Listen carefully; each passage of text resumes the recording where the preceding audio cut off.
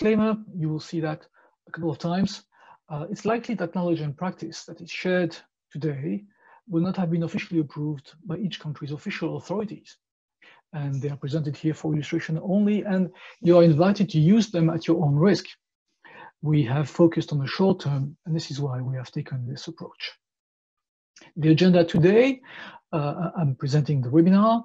Uh, Oscar de Buen uh, who is our past president at PIARC, will present uh, the introduction to the webinar. Then Young Tae Kim uh, from a partner organization, a very important one, the ITF, International Transport Forum, will deliver a keynote speech. And then members of the response team at PIARC, starting with Christos Xenophontos and Valentina Galasso, will present what we've achieved in the webinar. Then, wrapping up, Christos will present us the next steps, and Robin Sebille will present the questions and answers and will moderate that. And María del Carmen Picon Cabrera from Spain, who is the chair of the Strategic Planning Commission in PIARC, will conclude the webinar. And if it's okay with everyone, we'll conclude by turning on all our webcams and saying hello and goodbye to all of us. I see that some of us are using the raise your hand feature. Please note that we're not using it. So if you want to raise your hand, you can do that, but it's not going to be used.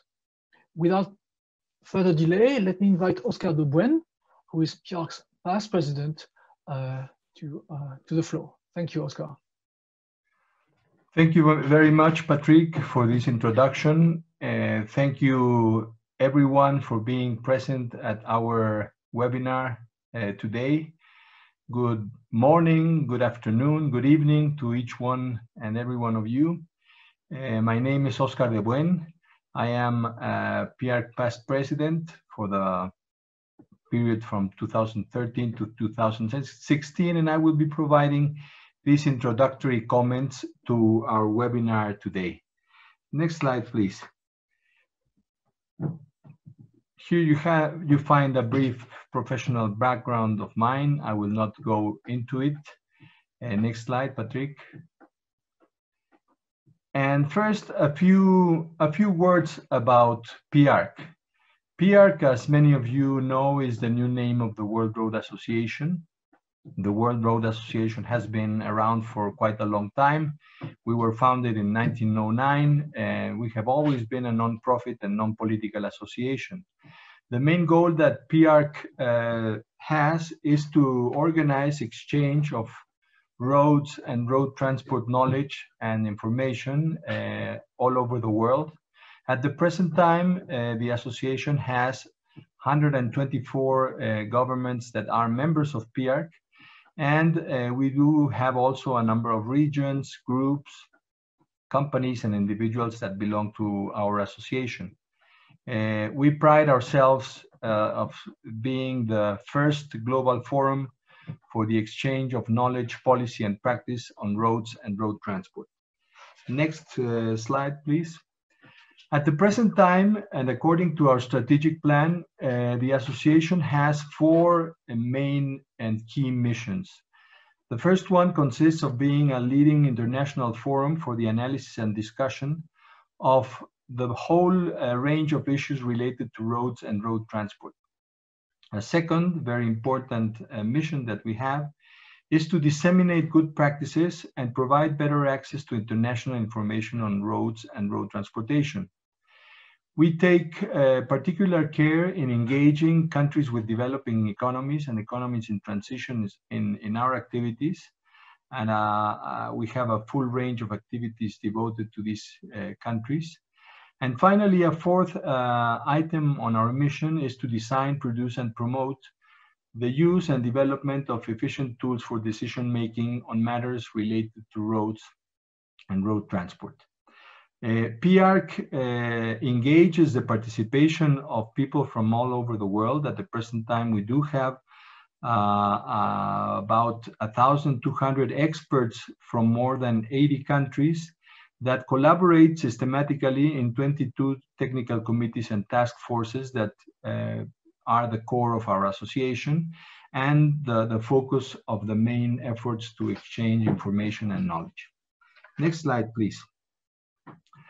Well, uh, to, to come into, into the subject of our webinar, um, well, it's no, I will say nothing new, nothing surprising for anyone when I say that COVID has presented an, a very unexpected challenge to activities all over the world.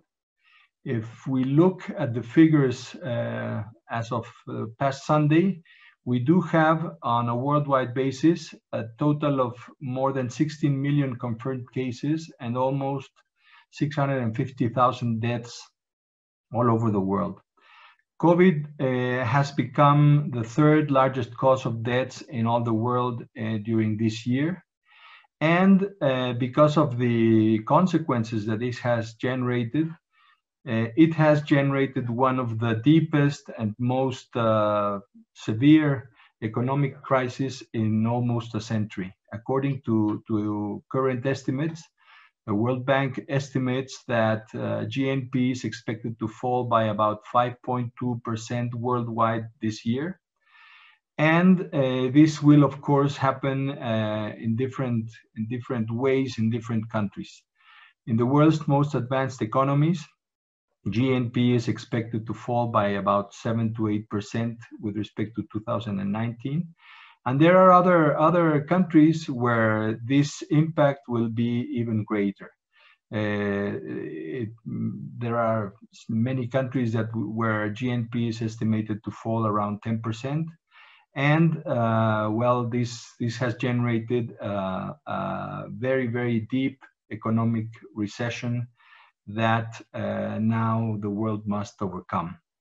If we look at some sectors in particular, such as the ones that we are we follow mo most uh, in detail, as transport and tourism, uh, as a consequence of the pandemics and the lockdown that was implemented in order to to deal with it, uh, we have in the transport sector felt a sudden drop in demand that practically paralyzed and suspended activities uh, all over the world. And well, the, the response to this to this uh, lockdown or to this uh, paralysis uh, will be felt uh, over the next few months, uh, years. So we we need to come up with particular and specific answers to how better to cope with this situation and to, to respond to it. Next slide, please. Well, if we look specifically at the roads and road transport sector, the pandemics has presented uh, a few specific challenges.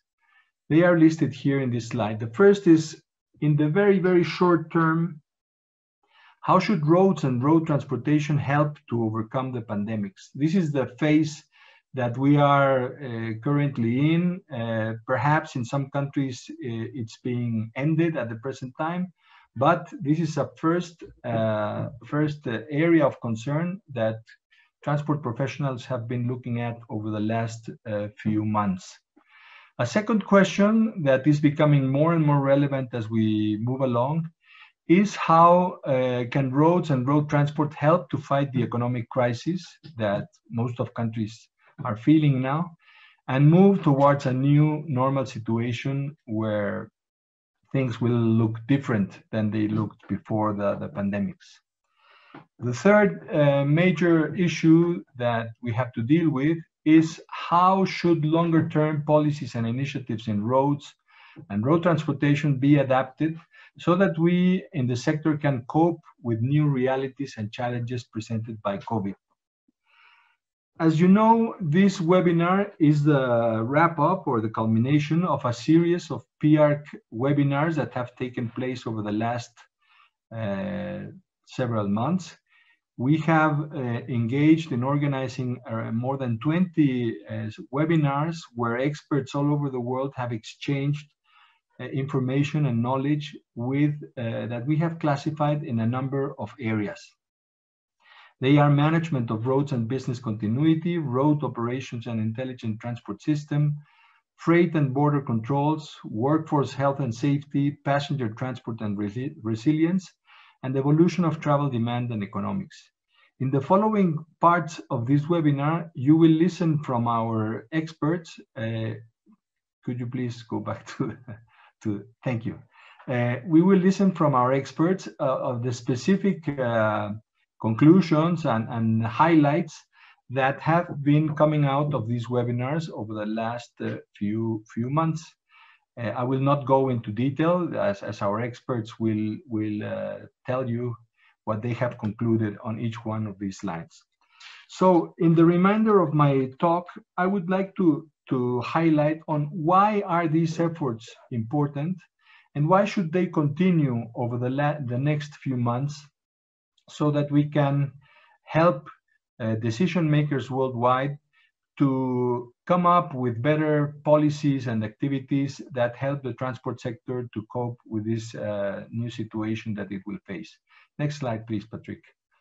Um, so uh, the, the first point that I would like to make is that um, knowledge sharing, such as, such as the one that we are having here and that we will we have been having over the last few months, will remain necessary in the first uh, in, in the first uh, area of concern because the the pandemics um, has affected countries and continents at different times and with different uh, force so that what has happened in some regions of the world before can be of use to other re regions at uh, later times.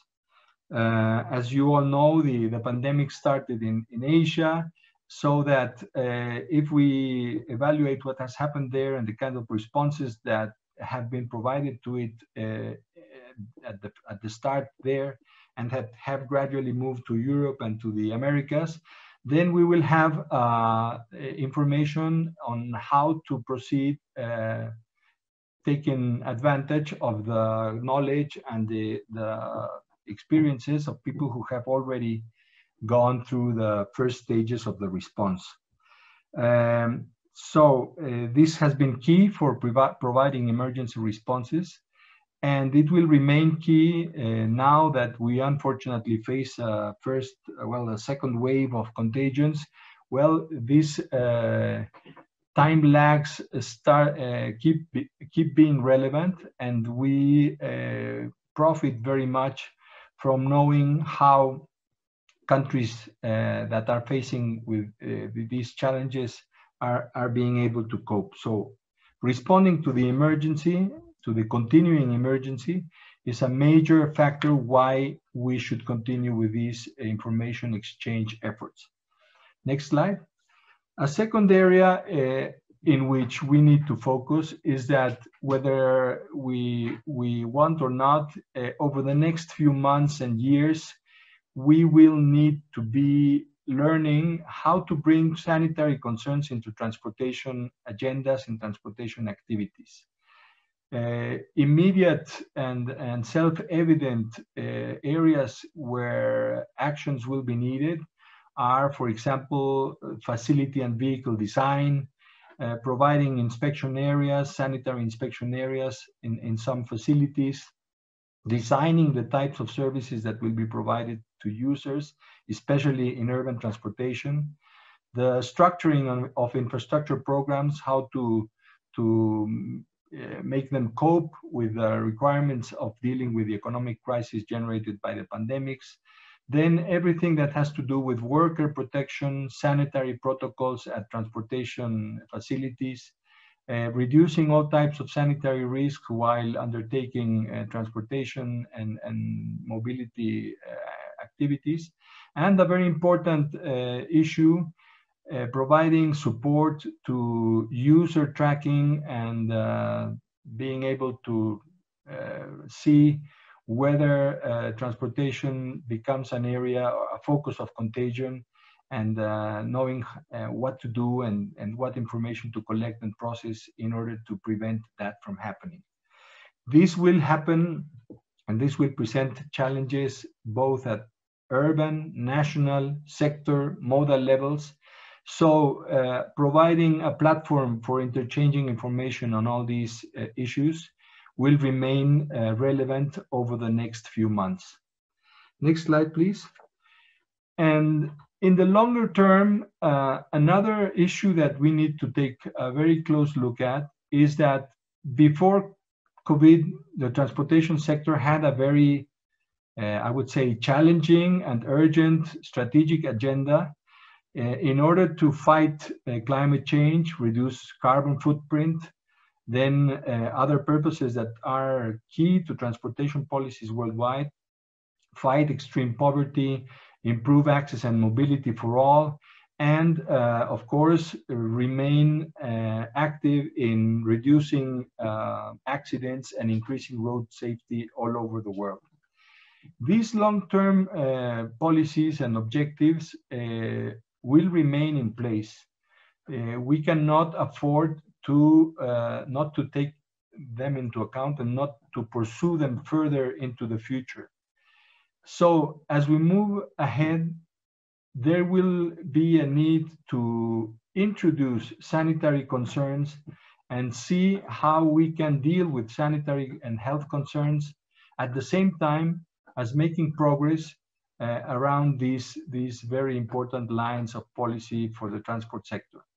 So, in other words, we will need to learn and we will need to be very, very um, open to see how these sanitary concerns will be introduced in our key transportation policies in areas such as the one listed at the, the end of the slide, uh, improving shared mobility in cities, increasing the quality of public transportation services, promote uh, multimodal transport options both for freight and for passengers, and then make uh, proper use of telecommunications and transport technologies in um, the, the, the, development of, of future policies in, in the sector.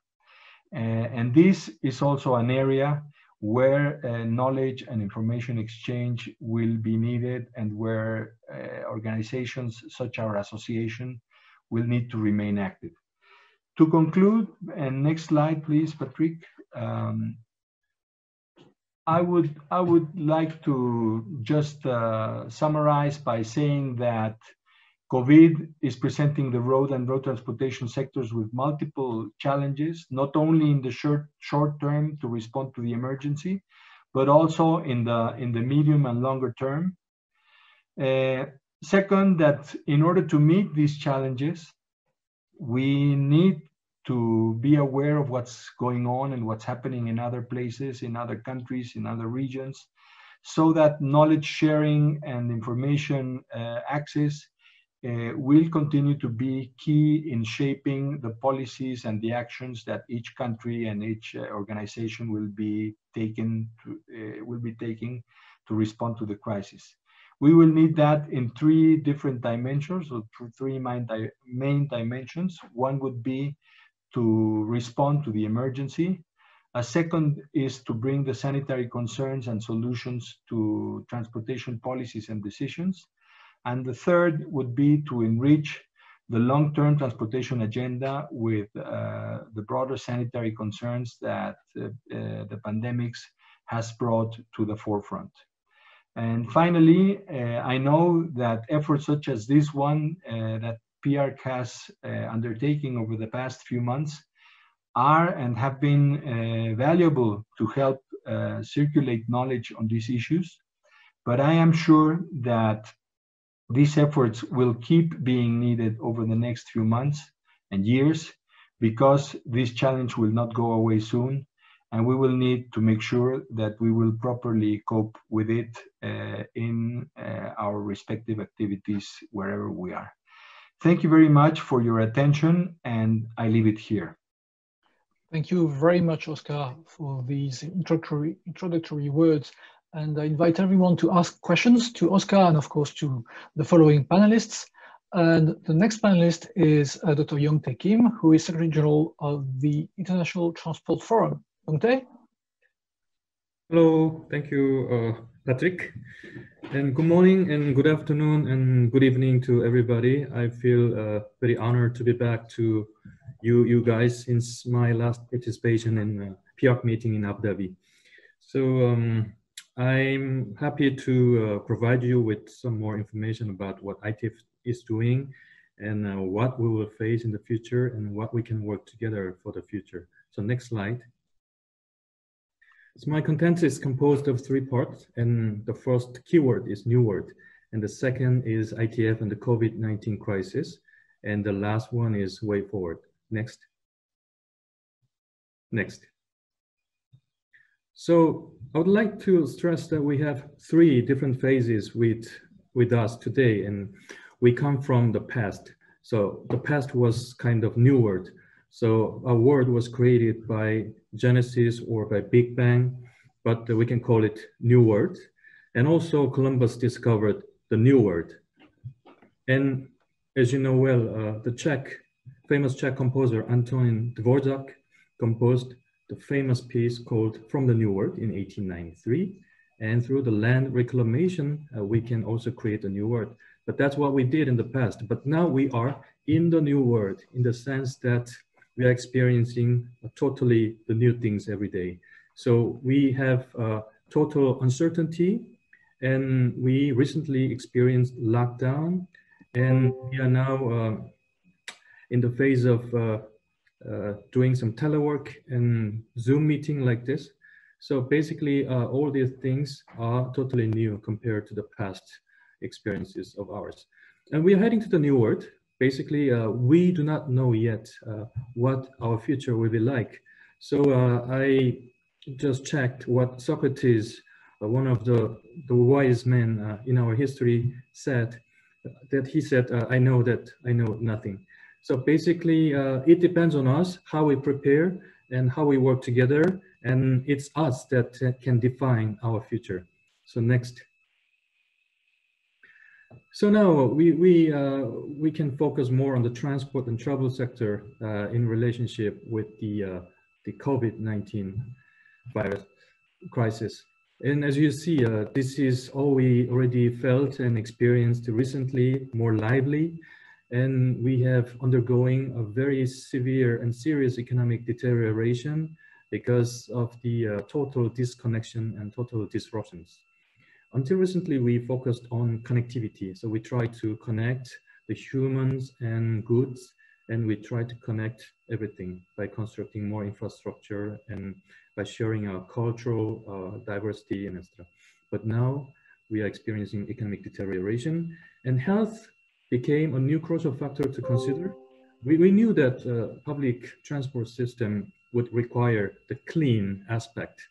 That's true, but we didn't even think about uh, the virus-free uh, situation because maybe it was too much, but now it became a normal.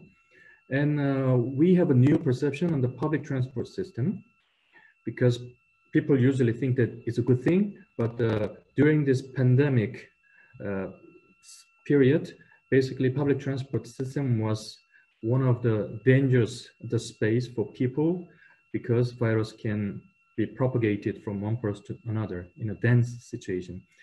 And nevertheless, during this crisis, we had some positive uh, hope, uh, seeing that private sector and public sector actively cooperated uh, to deal with this crisis.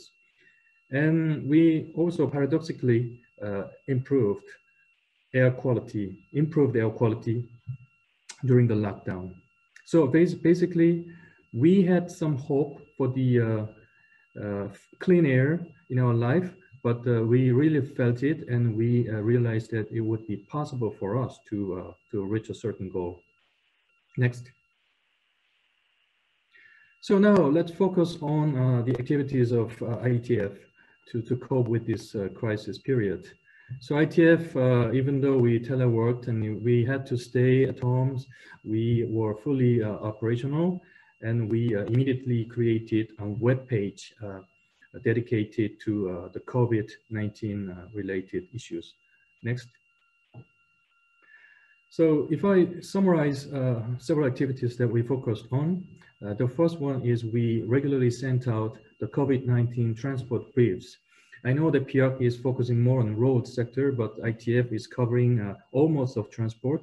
We diversified our themes and we uh, try to provide interesting uh, analysis and interesting information to our stakeholders in the work.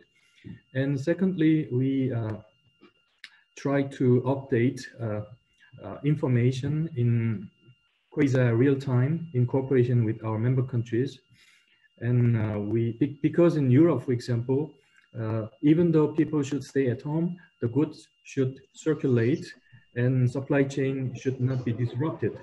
So uh, sharing the real-time information, for example, on border crossing uh, regulations is really important issue. And the last thing is exchange of related links with international partners. So sharing information in real time is really important. And we have to uh, we have to cope with this crisis together because this crisis is not it's not local issue, it's a global issue. That's why we call it pandemic. And uh, with uh, PRC, we also exchange our information, uh, uh, the platform. So I think platform connected to platform can create some synergies. Next. Now I will uh, I will explain you uh, briefly about our transport uh, the briefs. Uh, we uh, sent out seven uh, briefs during the past several months. And uh, in April, how transport supports the health system in the corona crisis. It's the first phase of the crisis, and we try to collect the different initiatives and best practices from around the world, how private and public sector work together to cope with this crisis. So it's kind of uh, the illustration of uh, the best practices in this, uh, the early stage of the crisis. And we also sent out a brief on electric mobility, taking the pause in times of coronavirus, and especially focusing on electric, electric vehicle market. And it, it, was also affected by COVID-19 because people had to stay and the economy was really going bad. But if clean mobility remains a policy priority, the sector can be optimistic about its future. It was our conclusion. And global container shipping and the coronavirus crisis is uh, on a maritime sector. And of course, it, it, was impacted by coronavirus and container freight rates have remained stable, but global trade volumes have declined. So which can create insolvency risk. So government intervention is needed. And reshaping our cities for resilience is really important because we have already fixed infrastructure, for example, road infrastructure. But at the time, uh, there were fewer cars and uh, people uh, preferred using personal mobility devices. So we had to change the space in, in cities and the role of the city government is really important. So cycling and walking and e-scooters, something like that, are really uh, available the mobility tools for, for us. But that gives a lesson for us to think about how we can really make a flexible infrastructure and universal design uh, coping with the uh, uncertainty in the future. So next one. And also in May, how badly will the coronavirus crisis hit global freight? This is a brief on uh, freight sector. And uh, freight sector was also very uh, uh impacted. but in, in the urban area, it's a little bit different because it was less impacted because uh, people prefer doing uh, shopping online. And so basically uh, the supply chain was relatively stable. And restoring air connectivity on the policies to mitigate climate change, a disruption, total disruption in the aviation sector uh, these days. So we dealt with this question also. And also we uh, dealt with the question of drones because drone was used to monitor and uh, to deliver during this the difficult moment. And uh, I think definitely uh, this, this could change the perception of the people about the drones in the, in the future. And also we will uh, wait for the next uh, briefs on gender and uh, the global passenger transport minister. So next one. And also uh, not only distributing our briefs and we organize several webinars like, like you do, and we did some, some on uh, policy responses to COVID-19, dialogue with member countries, and also urban mobility and transport data issue and supply chain management and freight logistics. And air connectivity will be uh, dealt with shortly.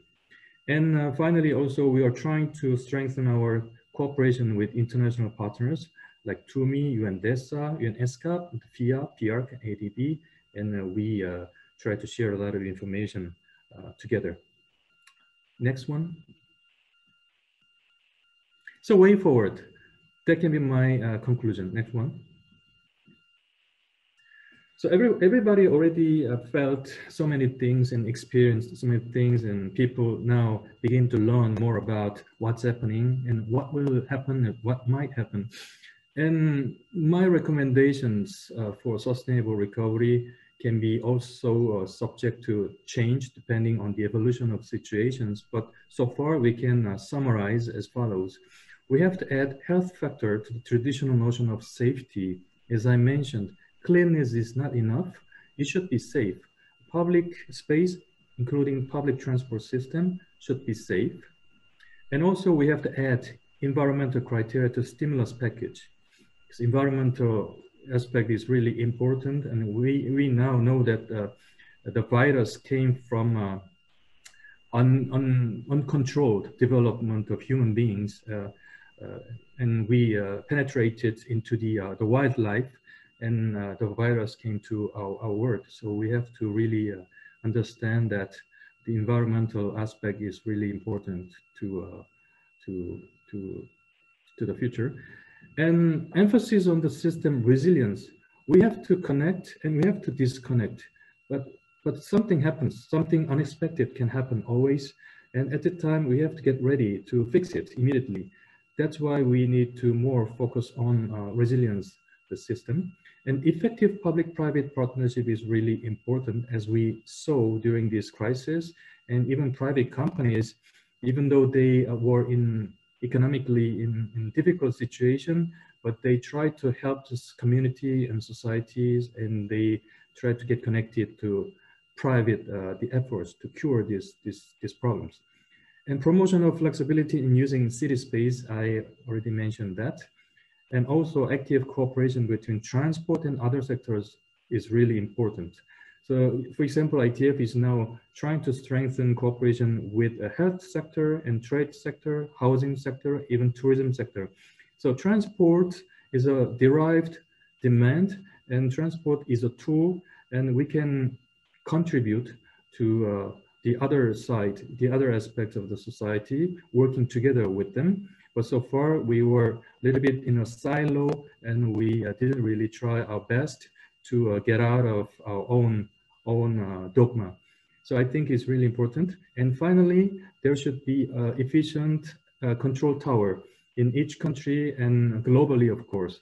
So uh, I think this can be a little bit uh, too broad and uh, a little bit abstract, but I think if we have a kind of consensus in our mindset and we at least we know where we should go and where we are going. So basically um, uh, during this uh, 15 minutes uh, presentation uh, i tried to provide you with some insight and inspiration but uh, you as experts can also uh, give us inputs and feedbacks and so that we can really cooperate to make synergies in, in, our in our future. So thank you for your attention and let's keep in touch. Thank you very much, Young Tae, for, for your words and for the broader perspective you have shared with us on uh, transportation in general. Uh, now let's invite Christos Xenophontos and Valentina Galasso, who are chairs of PIARC committees and who are active members of the PIARC response team, to present the success of the webinar program. Christos, Valentina? Thank you, Patrick, and uh, thank you to um, Oscar and Ty for uh, their useful information before. Uh, my name is Christos Xenophontos, and I'm the chair of PIARC's Technical Committee 1.1 on the performance of transport administrations. And I will be presenting on behalf of both myself and my colleague Valentina Galasso, who's the chair of uh, Technical Committee 2.4 on road network operation and ITS. So our presentation will cover the success of the PIARC webinar program and the global outreach of the 20 plus webinars that we've held today. Next, please. I know that uh, we have already shown you a slide of the COVID-19 response team before, but it is really through the hard work of the members of these teams that we have been able to pull all of this together. Uh, at the beginning of the pandemic, the General Secretariat saw a need to share timely and relevant information on actions taken by Road and Transport Administration during this crisis that might be of use to its members. Thus, the major objective of the response team is the rapid sharing of knowledge and practices between PIARC members on the impacts that the pandemic had on road administration and road operators and their associated actions. The more than 20 webinars that the response team organized since the middle of March required a significant investment of time from both the COVID-19 response team and from PIARC staff members. And if today's presentation was actually in person at this point, I would have asked you to please stand up and give this unbelievably talented team a round of applause for their efforts, but we are still working on how to do that through Zoom at this point. Next, please. In order to deliver information quickly, the key focus of the response team was on the short term. We recognize that under the new operational paradigm, the best method for getting information out quickly was the organization of webinars and the publication of short notes summarizing the information shared. And while such knowledge and current practices are not yet confirmed as valid or effective, and what works in some parts of the world may not be relevant elsewhere, inspiration can be found anywhere and we know that a good idea now could save lives, improve business resilience, and could minimize disruption of services. Next, please. In preparing for the webinars, the team first looked to identify the key issues and emerging trends relating to the impacts of COVID-19 across the PIARC members and the road sector in general. The following six categories were the most evident. In the interest of time, I will not go into detail in each one of these categories as they will be covered by my fellow panelists. Next, please. By far, the biggest success of the COVID-19 response team has been the organization of more than 20 webinars in English, French, and Spanish. Since the short amount of time that the response team has been active, it has worked with PIARC and partner experts from around the world to present a total of 25 webinars, including today, on diverse topics touching on many of the key areas identified early on. Recognizing the global outreach of these webinars and to share the value gained from the excellent presentations provided, the response team worked with PIARC General Secretariat staff to develop a special COVID-19 webpage, which is freely accessible to all. Next, please. I want to take the opportunity here to recognize and thank once again the members of the response team for the great effort that they have put in to deliver this program, our talented presenters and panelists for sharing their work and ideas with us, but also PIARC's many partner organizations for allowing their experts to present together with us. Next one, please. So back to the uh, PIARC COVID-19 special webpage. This page serves as the central repository of the work that has been done. Through this page, you will find the recordings and presentations of all of the 20 plus webinars held today, links to the two synthesis notes prepared by the team, and links to two parallel surveys being conducted by PIARC. You'll also find links to a number of technical reports completed in previous cycles by PIARC experts, which we may be useful to the community such as disaster information management for road administrators, risk management for emergency situations, and security of road infrastructure, both the 2015 and 2019 report. In addition, the page also provides links to the activities undertaken by other international organizations in relation to COVID-19 pandemic and road transport and infrastructure. Next, please. Speaking about the synthesis notes, the Response team has prepared two synthesis notes that are available for a free download from PIARC's website in the three languages of the association, which is English, French, and Spanish. The first note covers the first four webinars that were held between March 25th and April 8th, 2020, and presents a summary of the key emerging issues. The second note covers the next six webinars from April 15th to April 30th and presents a more in-depth elaboration of the key emerging issues that road administrations and road operators were facing during this period. Next, please. To bring all of this home and to show the global outreach that these webinars have had, let me share some interesting statistics that my colleague Valentina Galasso has put together for us. In the 22 webinars that we have summarized here, we reached almost half of the countries of the world, had over 1,500 participants with more than 860 individual participations. Almost 100 present presenters participated in our webinars and contributed to almost 50 hours of presentations and discussions. Next, please. One out of every four participants, participants out of the total number is from a woman in transport. This increases to one in three participants if we look at the individual participations. The top five countries relative to women in transport participation on, on uh, webinars are the United States, Italy, France, United Kingdom, and Spain. Can still that still have ways to go, but we hope that some of the work that is being undertaken under this cycle would help. Next, please. Lastly, we have seen that participation in the Americas and Europe has been the strongest. Within the Americas, the United States, Mexico, Argentina, and Canada demonstrated the most interest, and Italy, France, United Kingdom, and Spain from within Europe. There was also good participation from African countries with a strong focus on low and middle income countries. Thank you, Valentina, for providing this analysis of the webinars.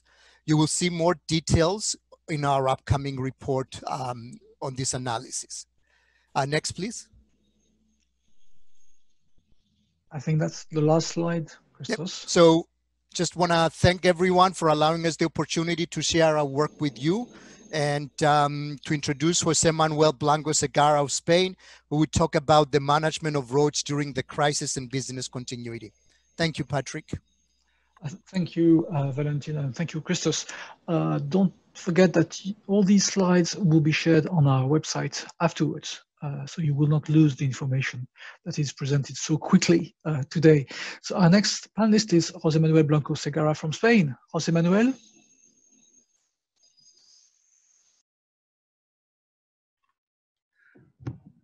Thank you, Patrick. Thank you, Christos. Can you hear me? Yes, very well. Thank you. Thank you very much. Next slide, please. Short, we are short of time. Well, it's an honor to be with all this great audience. Thank you very much for the, this occasion to be with you. It's an honor to be a member of the PIARC response team to COVID. And as far as the time is short, let's go directly to the point. Here in this slide, I try to present what I'm going to talk about. Oscar de Buen and Jonathan has, has explained very well the wide problems we are, we are now in front of them.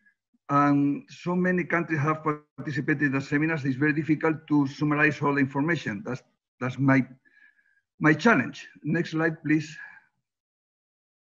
I tried to put all together my view of this in this slide. Uh, we, ha we have been crossing the emergency response. We are, most of us, not all of us, but most of us, returning to a new, some kind of new normality. We are looking at the future. In the first step, we have been able, and, and we, think with the road of all the road authorities and our supply chains must be proud that we have fulfilled the mandate. The mandate is keeping road network open, uh, road transport in service. Now we are focused on the ongoing operations and maintenance activities in roadworks. But I think that uh, we, the Christo, Jonathan, and I, who are members of the of the technical committee on performance road, talk very much about it. We, we need uh, to review our vision and our internal organization to check our responsiveness and adaptability, and something that is a weak aspect in our organization, to communicate this to all our societies, media, public, and the lessons learned. And looking at the future, what we need is to build a better, more resilient organization, as very well said before Oscar, for supplying a service and public value in any circumstances. And for this, if it's necessary, we should evolve through transformational change if necessary, looking always for a strong long-term vision. Next slide, please. Well, this is just a slide uh, trying to encourage you to visit our or revisit our our seminars. A lot of illustration coming for so many countries in so many different languages, all, all of them very interesting. Next slide, please. Uh, there is a hidden slide that uh, we're short of time. You will be able, it's available on the official PDF format will be uploaded in the PIARC uh, seminar trying to put in parallel the response of the state governments and response of the road authorities. So here I'm trying to put the information regarding maintaining everyday activity. The road authorities, we have activity in office and in road generally. I start with this quote of Yuki Adachi, the Task Force 31 chair. And well, most of us, we agree uh, that the first step was, has been identification of critical, essential positions and functions. And coming from the road authorities heads, the operational instruction for uniformity for public attention minimal staff, for official register telematics, and something very useful in many traditional administrations, the suspension of processing procedures, but when some special right of some individual is under risk. Also, we can see this, this terrible situation we are living as an unprecedented opportunity for task and duties reorganization and also reducing commute of employees. But something that is arising um, something has said before Christos, is the gender impact, especially on women. We have organized also a very interesting seminar on gender impact. I encourage you to visit it. The working disruptive factor, of course, but also thinking the personal adjustment and new pressures and roles to our employees and the parents in their homes.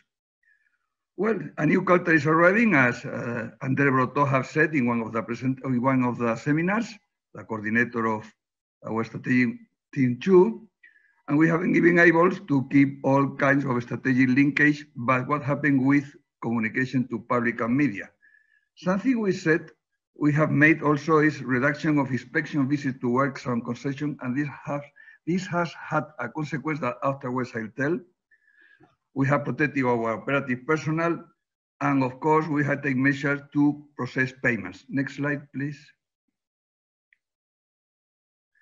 Well, regarding maintenance work through the three ways in-house contract concession, the goal is clear, road open, transport in service.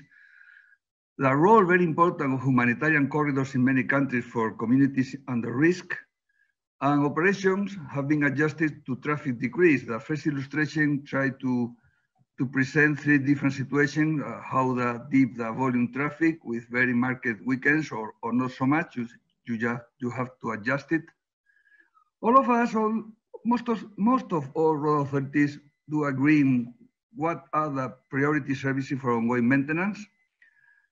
And even some of them has tried to accelerate some maintenance works, uh, taking advantage, for example, for the decrease of traffic volume. And from Japan, they have called us about uh, the implication for further consideration uh, to increase trend towards digitalization through some kind of maintenance management platform, as the second illustration shows, that will make easier our job in future situations like this one we are living. Service and rest areas uh, Eh, is the question of the third illustration. We have, we have now realized in many countries how essential are they for long distance transport, but not always, sadly, have been open in the first step of pandemic. They need to be clean and clean and secure. That's another tax in many countries for road authorities. Some organizations have developed apps for reporting problems, and also in Japan, another novelty, this pilot parking reservation system for the double articulated trucks and the special needs. Companies with maintenance contracts or concession have been warned of their obligations. And before Oscar told us about the terrible figures regarding COVID, well, also let's remember the terrible figures regarding road safety. Now, of course, there is less volume, but that means faster driving is realized that there are more single vehicle runoff or fixed object crashes. So it's very important the role of traffic control center and patrol, monitoring and enforcing. And let's remember our IARC or PIARC safety manual. Next, please. Well, here are our invisible heroes. Media and society doesn't know, but here are our little heroes or big heroes, better said. Next, please. In my country, uh, sometimes I speak with people in the street and everybody think a hero of people of safety and other sectors, but nobody remember, almost nobody remember road and transport workers and staff.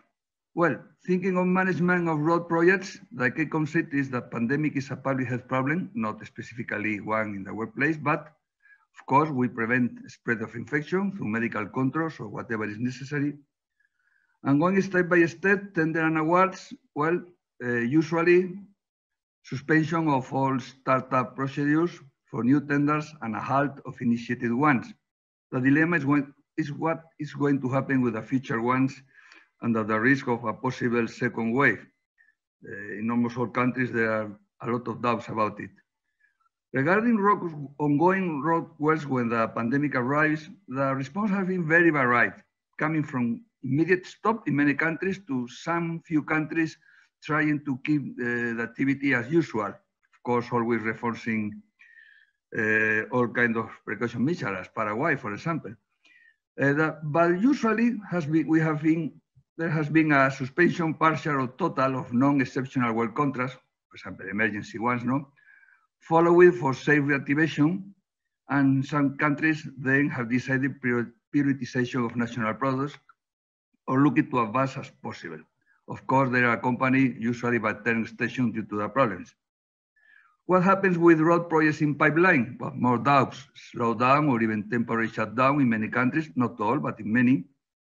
So in the end, the sector is facing a complicated situation with a clear perspective uh, for example, will criteria, profitability and execution of new projects be modified? So we need a close dialogue and cooperation from, all stakeholders and a message that many people think that the way forward is remember to everybody, governments and media, that construction is a key driver for the economy with fast and positive impact. Next, please. Just another for remember our seminars. Next, please. Supply chains are being affected in their productivity all over the world, globally, domestically, and sadly, some bankruptcies have been anticipated. And the crisis has reminded us the current complexity of all kinds of supply chains. All of them, their goal has been, of course, continuity with safety. Thinking first on the consulting sector, such design company, they have reacted, switching massively to teleworking overcoming some initial problems. And now many of them are in some sort of hybrid way, you know, working office, working home, trying to decide about it, reducing so office space and spending money, but also arising gender problems, households have to cope, family questions. Uh, we have to think about it. Well, the productivity has been altered. The initial staff fear and supply difficulties well, once they were won, but then arrived a restrictive measure of distance, impact of daily transportation, labor shortage, so the productivity is lower in many countries. But a positive news we have observed little increase generally in illness and absenteeism after the first fair. Of course, we are keeping with delays in materials and components, uh, not only for abroad, but also for our own countries. Um, some some speakers have told about some restrictions in the well monitoring by road administration uh, uh, means delays because they're deferring the visits. Finally, supply chain also understand problem, but also need stability and clearer forecast. Next, please. Well, I'll go through this slide very quickly. Just slide just to say that we have been able to work with a lot of other ministries, administrations, all kind of organization, like uh, trying to share information, making decisions, deciding, uh, also cooperating with security forces, cops, road patrols, studying mobility, collaborating with health authorities, uh, fire cops. And the last point, I, I, I want to, to highlight it because in the last times I'm hearing more and more that, that what is happening with uh, the roadsides, especially when the roads cross cities and towns, where, where facilitation of permits for restaurant and other establishment with the support of the municipality was the first step. And now everybody's thinking on the allocation of urban space, for example, new lanes for bikes or whatever. And this could be a new source of work for, for, for the road sector. Next and last slide, please. Well, no, this is not a live, excuse me. This is just I put a woman in the middle of this slide, as you see. Next slide, please. These are some short implications and conclusions that I think all about it, thinking always in maintenance, in supply chains, and in, in road planning and roadways, but can be also thinking in other aspects. That initially we didn't see the impacts, now we have doubts, we have many questions. you answers, but we understand that our teams, we, we need to understand our teams better, our emotional components. We must rethink, we have realized that new normality is arriving. The important paradigm shifts in daily working and transport are going to affect us. And perhaps we have to think in our future role, providing sustainable road planning criteria, road mobility in new contexts, and communication channels to public and media. Here are two quotes that I think are very interesting. And I leave you. Thank you very much. Thank you for. Robin, I suggest you turn off your microphone. Thank you very much, uh, Jose Manuel. Really good slides, very packed with information in only 12 minutes. So congratulations. And Valentina, now your turn. Yes, thanks, Patrick, and good day, everyone, and thanks for joining us today. This is Valentina Galasso speaking, and uh, as, as my colleague Christo said before, I serve in PIARC as chair of TC 2.4 on road network operations and ITS, and I am also a member of the, the valuable response team that uh, tried to put in place this webinars for you. Uh, this my presentation will be about ITS and how these kind of solution, ITS solutions, can be effective and can enhance road network operations. Uh, it is very important for you to know that during the all webinar we conducted, there are lots of information about road network operation and how to keep business continuity uh, within road network operations. So this presentation will be a wrap up of the most important best practices and lesson learned in order to you to be guided through uh, the whole series of webinar. We have seen seriously a lot of best practices. So please, Patrick, go to next. First of all, I think that uh, everyone uh, will be dealing with the same uh, question that it's like, okay, but what it's like to be a road operator, a road company during this pandemic crisis? There are like a lot of impacts now on road transport from the COVID-19 pandemic. And uh, we need to consider that this pandemic really shut down millions of people in their homes and disrupted every part of the transportation system um, which uh, road is really in the middle and is playing a really crucial role because in most of the country it is considered to be uh, a crucial and essential service. A great number of issues have been raised in the road transport environment, leaving most of the time road operators really with a lot of challenges to face.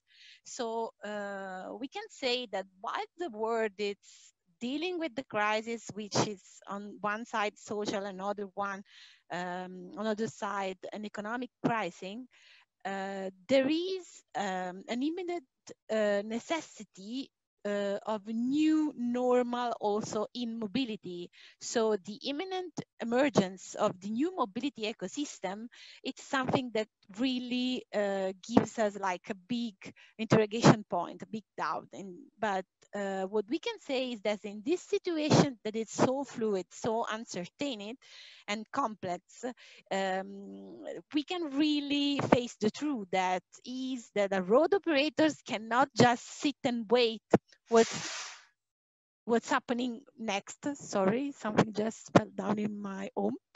And um, road operators cannot just sit and uh, wait uh, the situation to calm down, but he needs to act. So every organization needs to uh, continuing uh, dealing with core activities and road network operations while they're also dealing with the enhancement and improvement of these kind of operations in order to uh, allow the, the public services and road users to continue having the services they always having, including, for example, uh, emergency services that now uh, are very important for us. Next, please. Uh, I use this meme like keep calm and carry on, and I can keep I can keep calm because I'm a transport manager. Because sometimes when I speak with colleagues that are like road operators or the TC members, they all say to me, Valentina, really, we are talking about ITS, but we are also saying uh, you cannot keep doing what you're doing because you need to act first this is not really the question that we should be asking ourselves because it is true that we need to rush, react as road operators and do everything before everything else. Uh, but um, it is also uh, very important to consider that your core activity is always to provide road users with services. So uh, trying to making traffic flows go, going, it's not the only activity you've be, we've been dealing with. But also, uh, it is very important that I strongly believe in that, that ITS solution can be a, of great help in this time of crisis in order to let you enhance the mobility along your network. So um, please, can we go to the next, next one? If we consider next please patrick yeah so if we are going to consider the RNO and RNO domain, what I call domain, these are the areas where you can see ITS are giving more important support than ever. They are also the areas we have seen a lot of experiences and best practices within our seminars. Starting from exchange of information with road user and going through um, through that, uh, passing through management of tolling, network management of road mobility, and decision make uh, management support. You can see that these are all areas uh, where um, ITS can really be of great help, but they are also critical areas where you need uh, clear response, clear strategies, and also uh, a strong um, help from the IT part. So next, please next slides, uh, I try to, in, the, in this slides, I try to summarize all the best practices that we had during our seminars in order for you to have a clear link, a clear link to uh, what, what seminar uh, talk about what and uh, what are the main best practices and lesson learned that we can have. For example, if we talk about exchange, exchange of information with road user, uh, we saw a lot of important experience from Argentina, France, Italy, Portugal, Spain, and they are just few just some of them. There this is of course uh, not all of them.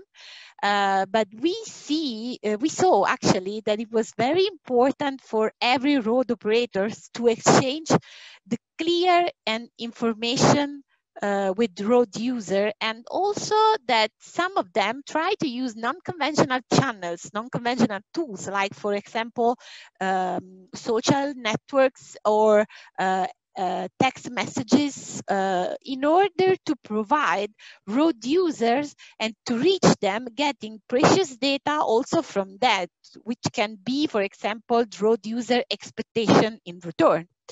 Next please if we talk about manage, management of tolling, which has been a great deal in this period because uh, of the exchange of money or the, the stop that the, the toll system uh, actually put in place uh, along the network, uh, we saw a lot of experience from Argentina, France, Greece, and Italy that were, they were dealing with the um, digital part of payment. They, in fact, decided to insert digital payment as uh, a best practices during this period in order to allow uh, more easily transit and also to allow people not to touch money.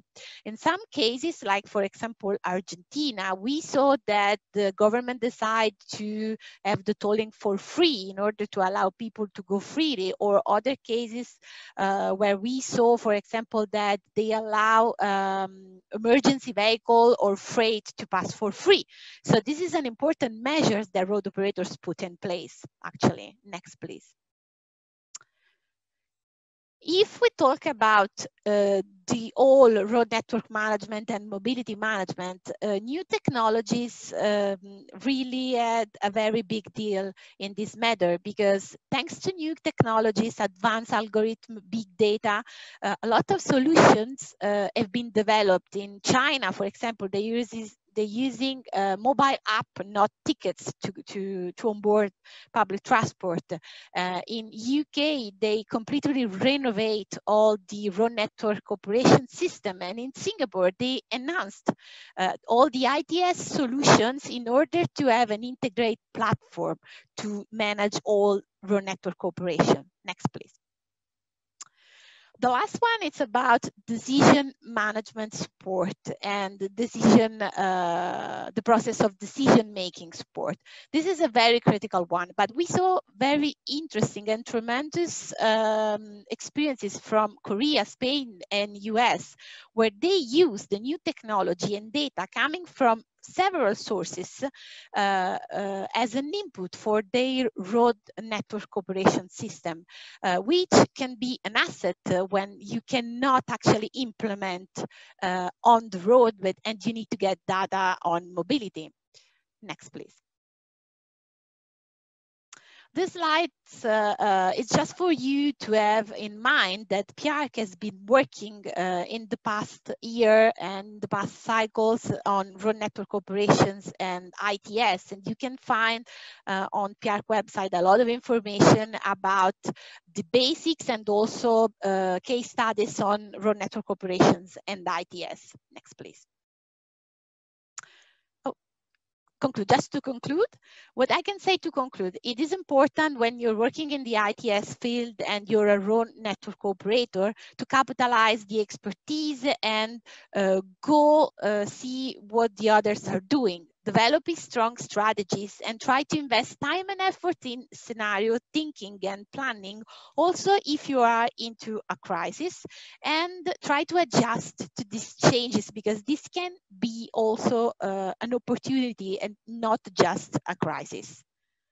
Thanks a million for your attention.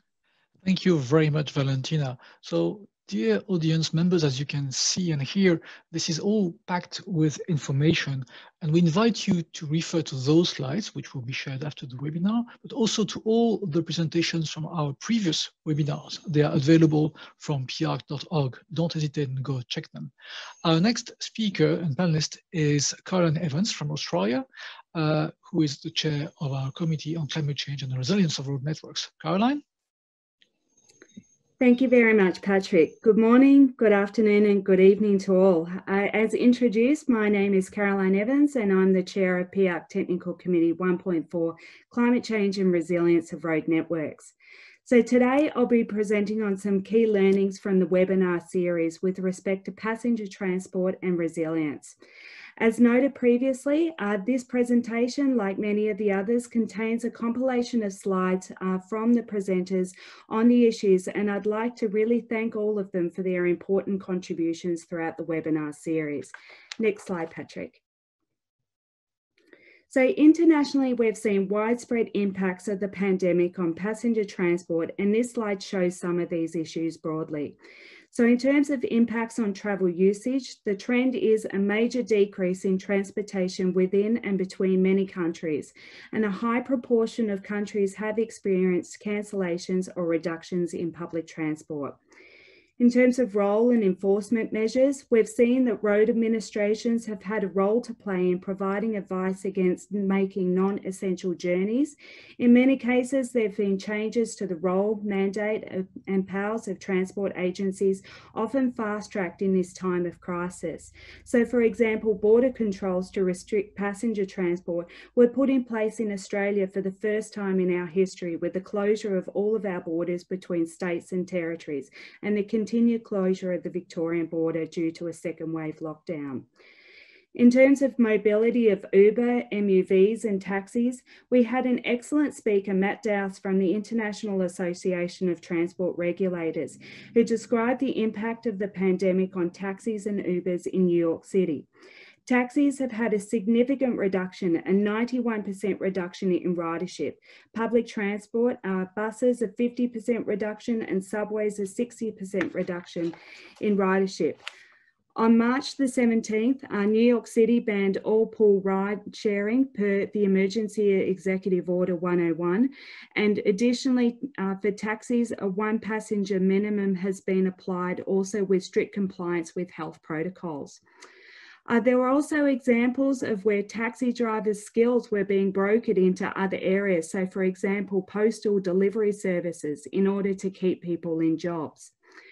Uh, the use of electronic ticketing, as uh, also noted by Valentina, has also been applied. Uh, so some countries, such as China, have implemented infrared temperature measurements through non-contact temperature te tests at transport stations, also bus face recognition temperature measures, and bus code scans to provide improved safety for commuters on public transport systems. Next slide, please. So here we have some examples of what we've seen internationally in terms of reductions in tra transport and traffic on roads. Uh, the Hellenic Association of Road Tollways, Hellastron, uh, presented some of these uh, pictures here that you can see of images of the Attica Tollway in Greece. Uh, these highlight the massive reduction in transport usage and these images are those that we've become quite familiar with in terms of open roads. As shown also on this slide, in London, the impacts on shared transport have been very large and the numbers are at its lowest since 1955. On average in London, the tube carries 1.35 billion passengers each year and about 2.1 billion bus journeys are taken. In this graph here, you can see that by March, tube journeys had dropped by 95% and bus usage also fell by 85%. Next slide, please. So mass transit has collapsed in many places as services have been suspended, travel restrictions are in place, or people simply feel nervous about travelling on trains and buses. Uh, this slide here is from Tommaso Bonino from Italy in his presentation, and it shows what might happen in the market in China in terms of the impact of COVID-19 on new car purchases. So in this presentation, it shows a modal split between private cars and passenger transport. It shows that private car is anticipated post-crisis to increase in use in urban areas and it will double its share. On the other side of this, public transport is more than halving and cycling is seen to be quite stable according to this. Next slide, please. So this slide shows some essential interventions on buses for public transport and some of the complexities around this as restrictions are being lifted. Social sanitisation is extremely important, as we all know, as well as driver protection, uh, for example, segregating a driver. Also, the implementation of personal protective equipment, specialised doors, uh, specialised seating, disinfection provided every day, and in some circumstances, no air conditioning on buses. Spacing on board and seat management is required to minimise crowding. So as you can see on this slide here, it shows that on some buses, it is difficult with seating so close together. Some space is simply not available as for social distancing. So here it is necessary to block seats. Next slide, please. I'd now like to turn to some solutions. So whilst future mobility patterns are unclear, there are some growing solutions, such as the possible growth in the work from home culture in the future, and also increase in using of uh, personal commuting devices and more popular use of cycling. Next slide, please. So during the lockdown, it's been seen that cities are massively respacing their streets with a full reallocation of road space, here we've seen examples of across uh, Barcelona, Berlin, Brussels, France, Milan, and, and Rome. We've seen examples of interusing residential zones, speed limits and priorities for cyclists and pedestrians, uh, new cycling streets, pop-up emergency cycling lanes, uh, the widening of pavements to allow for more social distancing for pedestrians, and a full reallocation of, of street space. Next slide, please. So it's been identified that of the cities that have acted fast during the pandemic and have done this with a long-term vision with increased chance of lasting effects are those cities that already had sustainable urban mobility plans in place and integrated packages of measures already looking at how to make cities more sustainable. So, what is happening throughout the crisis and what has happened throughout the crisis is the fast tracking of a number of measures already planned for years to come, now being implemented at a much faster speed in a much shorter time frame than initially envisaged. Because these were already in the pipeline, it makes it possible for these measures to remain in place more permanently. So, for example, in France, there's been a fast tracking of the very wide regional city network with 650 kilometres of cycling paths being introduced at a faster pace than previously planned. There is also a need for the evaluation of all of these fast track strategies post pandemic.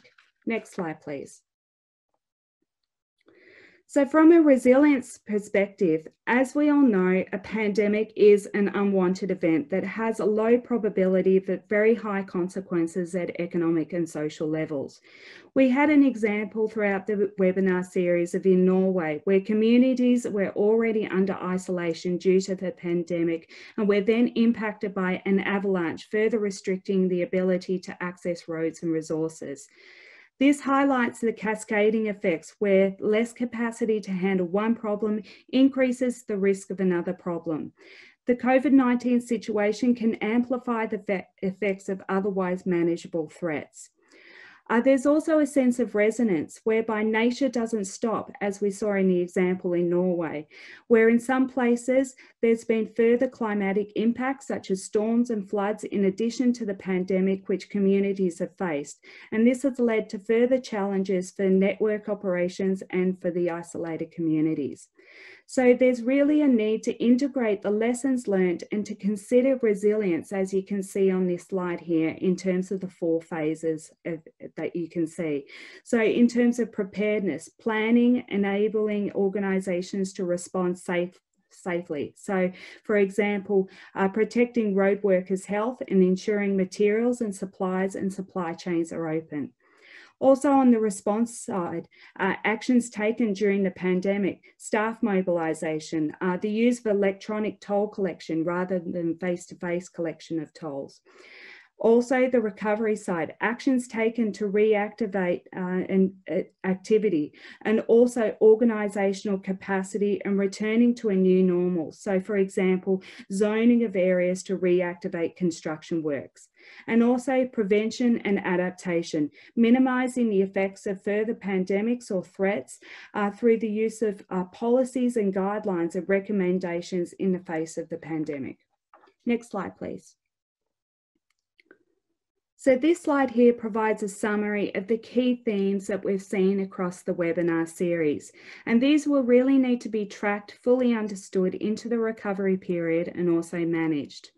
On the environmental side, it's already been observed that the reduction in transport has also led to a decrease in greenhouse gas emissions in the atmosphere, as well as a decrease in local air and noise pollution levels. Next slide, please.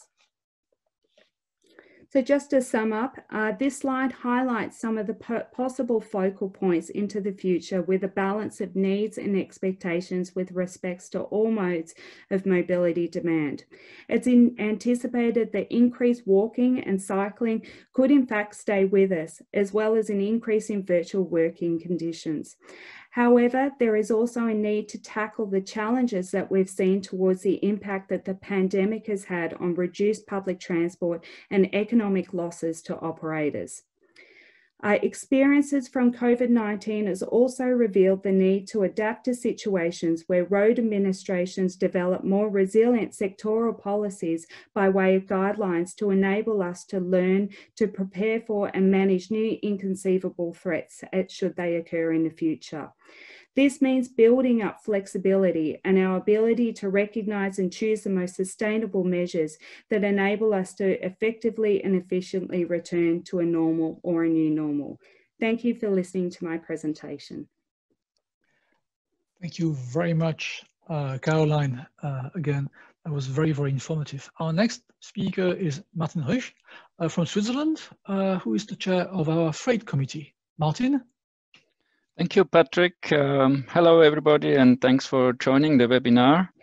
So I would like to give you some insight on impacts and challenges caused by COVID-19 and strategies and solutions from the logistics and freight perspective. I will finish with a synthesis and outlook. So I will focus more on long distance freight transport and less on urban freight transport. My presentation is based on the material and documents from previous webinars, especially also from my colleagues of the PIARC Freight Committee. Next, please.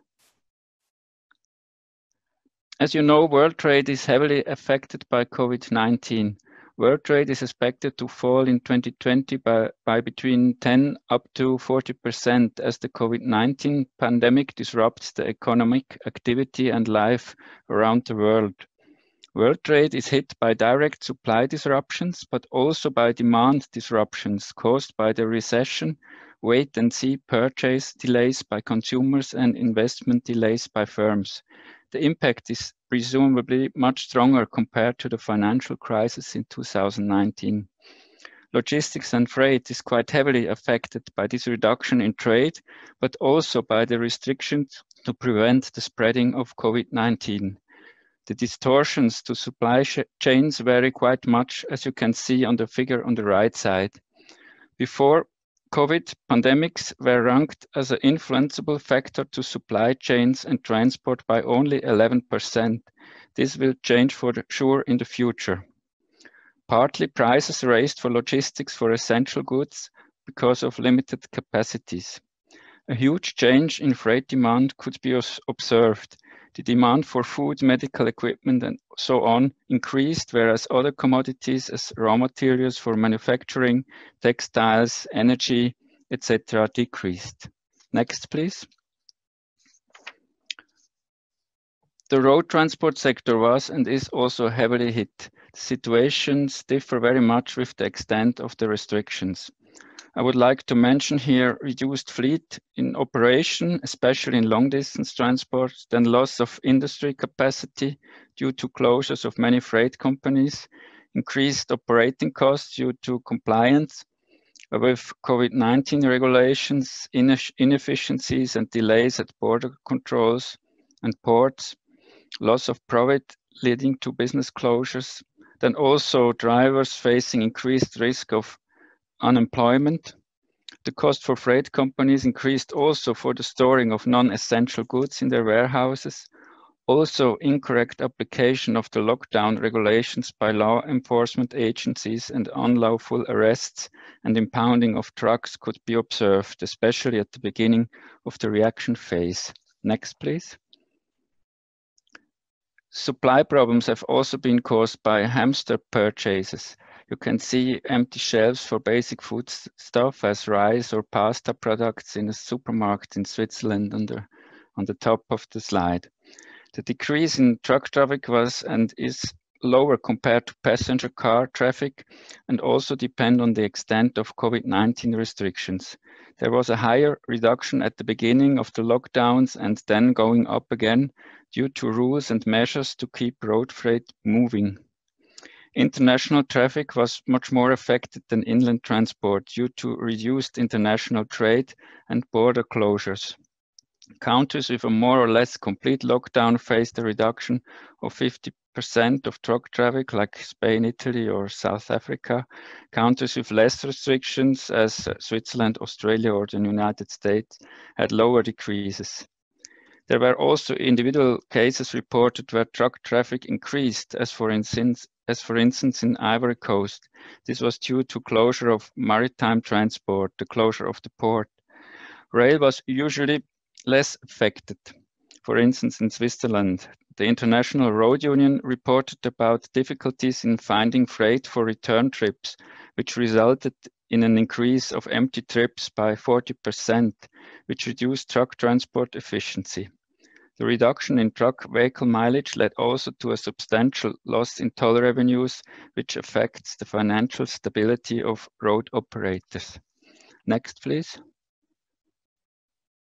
Working conditions for truck drivers got more complex and difficult. They had to face obstructions, traffic jams, and delays at border crossings, especially at the beginning of lockdowns, often also caused by controls of passenger vehicles.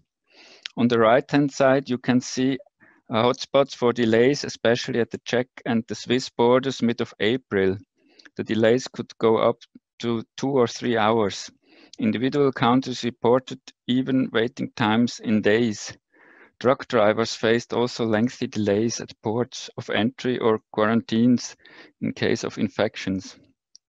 Some countries enacted bans for transit tra truck traffic or closed a part of the border crossing, which resulted in detour traffic for trucks and longer leading times.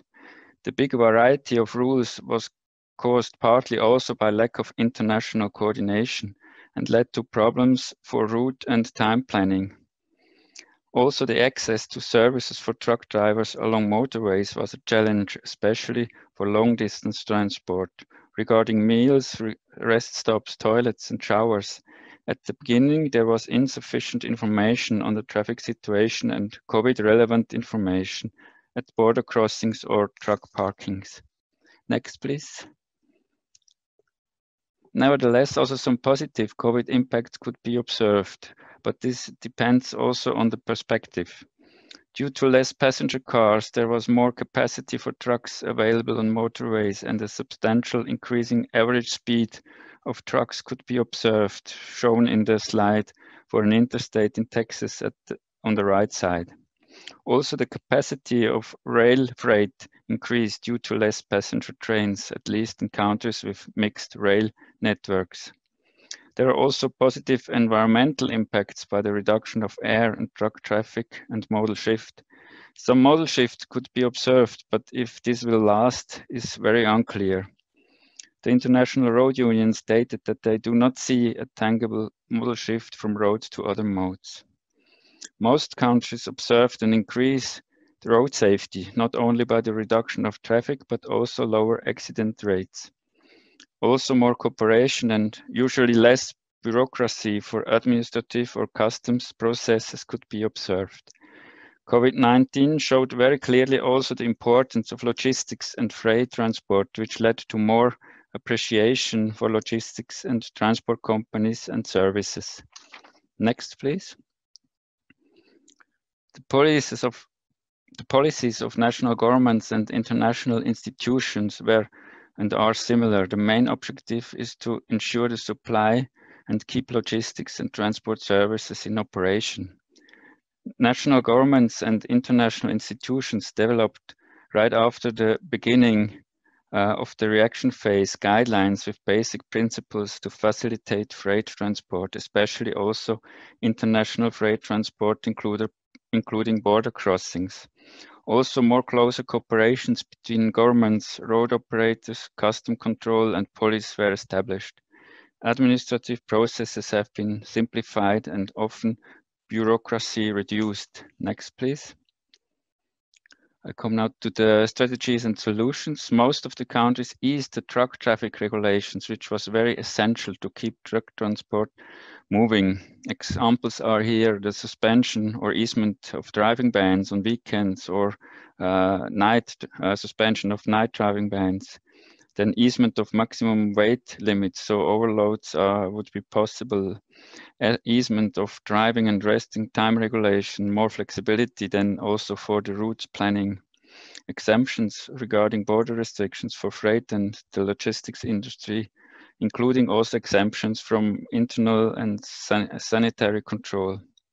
Then waiver for permits for the passage of non-standard transporting non-standard uh, oversized vehicles transporting medical equipment. Then also very important extensions of certificates for truck for trucks, uh, driver licenses and visas. After the reaction phase, easements are partly again abolished, uh, for instance, also in Switzerland.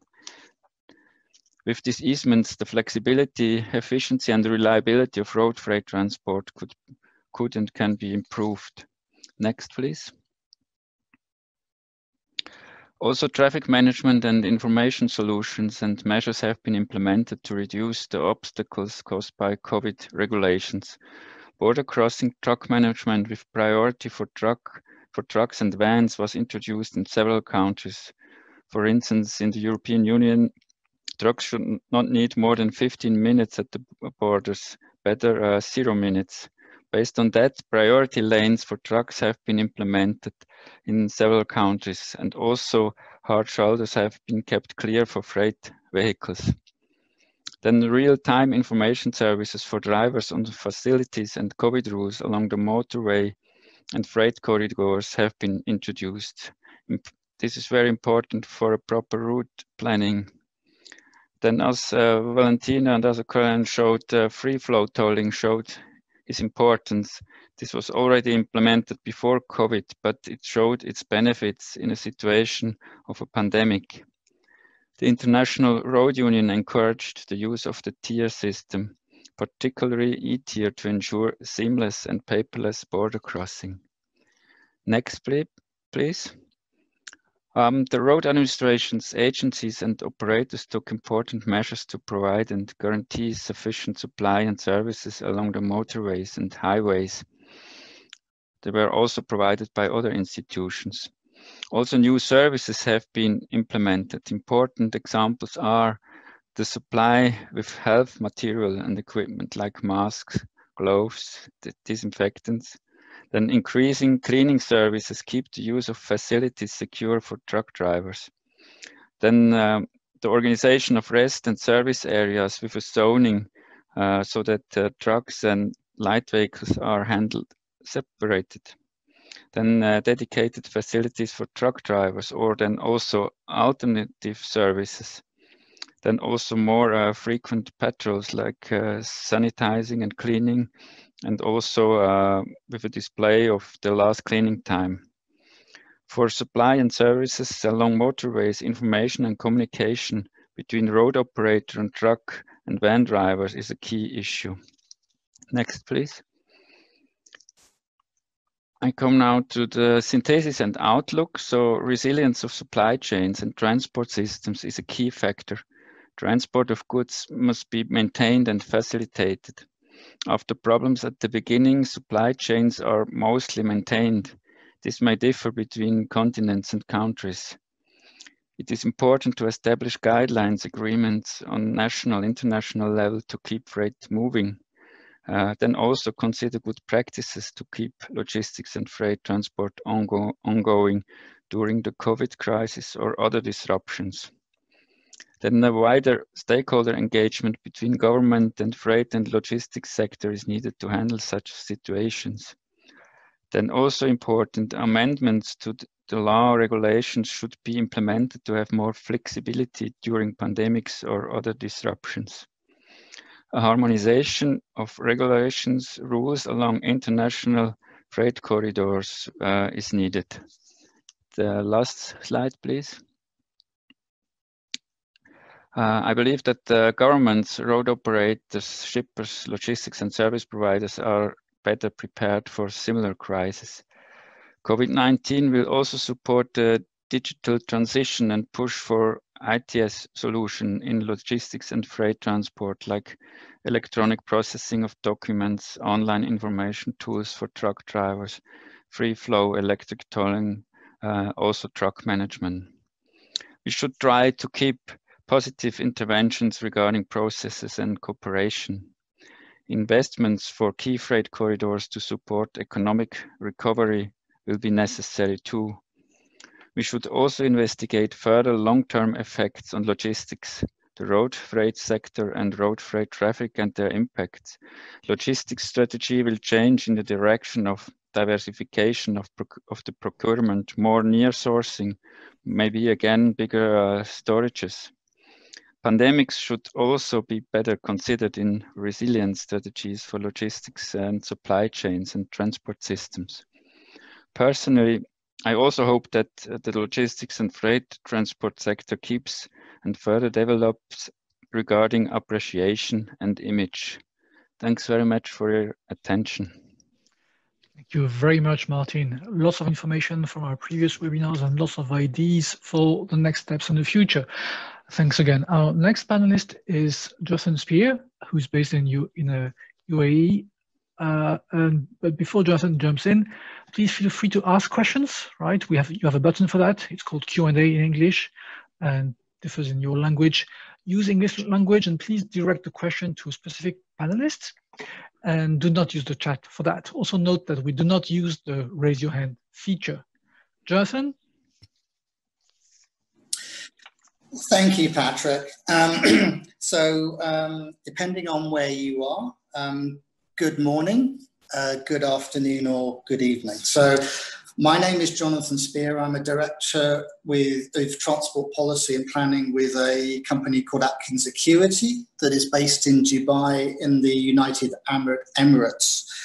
Um, I am going to talk for the next few minutes on evaluating the early impacts on, of COVID-19 on employees and workforces within the transport sector.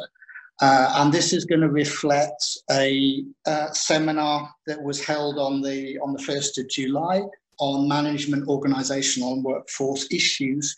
Um, and I have to say, diversity has already been mentioned a few times uh, this afternoon, um, but this was the first and the only panel uh, that we had on the 1st of July that was basically an all-female panel. We had basically women from the UK, the USA, Italy and Lesotho, all talking about uh, management and workforce issues. Um, so, as has already been said, we have some way to go within PIARC and the road sector in promoting diversity, but uh, hopefully this was a, a good effort in kind of moving that agenda forward.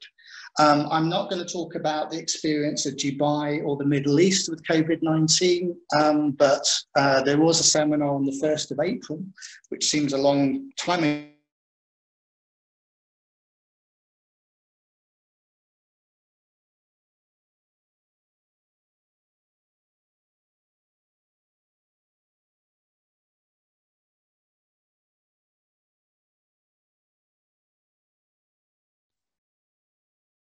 Jonathan, are you there?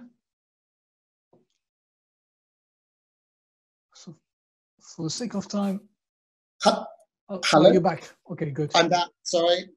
Um, and I think we're just proving one of the points I'm going to make about the issues of technology. However, just moving to the to the next slide, then I think to sum up um, the experience of the of the roads and transport sector and the workforce uh, in the face of COVID-19 summed up by this quote from Theodore Roosevelt do what you can with what you have where you are. Um, the story really is of people doing, um, finding solutions, finding a way, resolving problems as, as they find them, and finding workarounds. There was no manual for this uh, and and basically people have really had to make things up and define define solutions as they go along, uh, and really to keep calm and carry on. Next next slide. Um, so the context is just to put this into, into, context, land transport around the world employs about 60 million people directly. That's about 2% of the total. Indirectly with the supply chain, it's a lot more than that. Um, with public agencies within the land transport sector, we have an estimated 1.3 million people across the world. PIARC possibly represents about a third to a half of those uh, at the local or the regional national level. So we're talking within the roads and transport sector and the workforces within it in a very large number of people across the world and, and a very large number of people within the workforce who have been affected by the COVID-19 crisis in a number of ways. And those ways have already been described in, in some of the preceding uh, presentations. Um, but uh, according to the International Labour Organization, uh, no fewer than 93% of workers live in countries which have had some kind of workplace uh, or organizational disruption. Um, and also there has been a loss in productivity in the working hours um, quarter two, which was really when the COVID-19 pandemic really started to escalate, uh, a loss of five, around 5.4% but rising to 14% in quarter two. And if that sounds like a small number, uh, that is the equivalent to 400 million full-time jobs. Um, so that does put it into a bit of context, the scale of the impact on employees, on individuals, on people across the world from this pandemic. As we all know, we are beginning to see gradual reopening of some countries uh, after periods of intense lockdown. And that as well has workforce implications kind of moving forward. But the bad news is the disruption, the loss in working hours, the employment impacts are not going to be over anytime soon. Uh, and, and many economists are now looking to 2021 or even beyond uh, for some kind of economic, uh, some kind of recovery of the sector. Next slide. Um, so really to sum up some of the organizational impacts, and I've split these into a number of different areas. Um, so the impacts on operations and facilities, and Jose Manuel has already described some of these earlier, uh, around the impacts on direct productivity from sickness, from staff self-isolating, whether, whether actually having COVID or uh, this uh, fear or this uh, precaution uh, of potentially being sick, frontline operations have certainly been severely disrupted, um, but also offices and facilities largely shut down through national and local lockdowns and shifting to remote working from home. Um, travel and mobility, well, international travel is virtually shut down, uh, or if it does continue, requires top management approval uh, to carry on. And domestic travel similarly allowed only by exception or for essential purposes. The workforce itself, the big picture here is uh, moving to working from home with varying policies around returning to the office as economies uh, reopen. But home working itself presenting multiple issues around line management, productivity, well-being. Um, and when we talk about well-being, we're not just talking about physical health, but we're talking about mental health, um, and um, attitudes and, and, and, behaviors as well in a range of differing circumstances. Uh, a range of contractual and regulatory impacts around, for example, health and safety uh, that we now, regulations that we now have to follow. Uh, the need to review and change employment policies and practices, often at very short notice. Uh, and as many of us will know from practice from working from home, this blurring of the lines between the work environment, the professional environment, and personal space and time, uh, and the management and the personal management issues associated with that.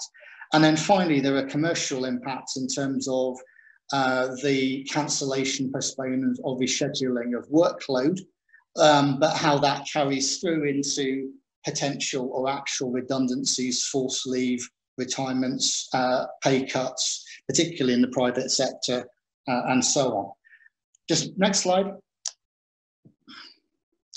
Um, on some of the responses to those, well, we've seen the rolling out of a range of business continuity plans, emergency management committees, and so on.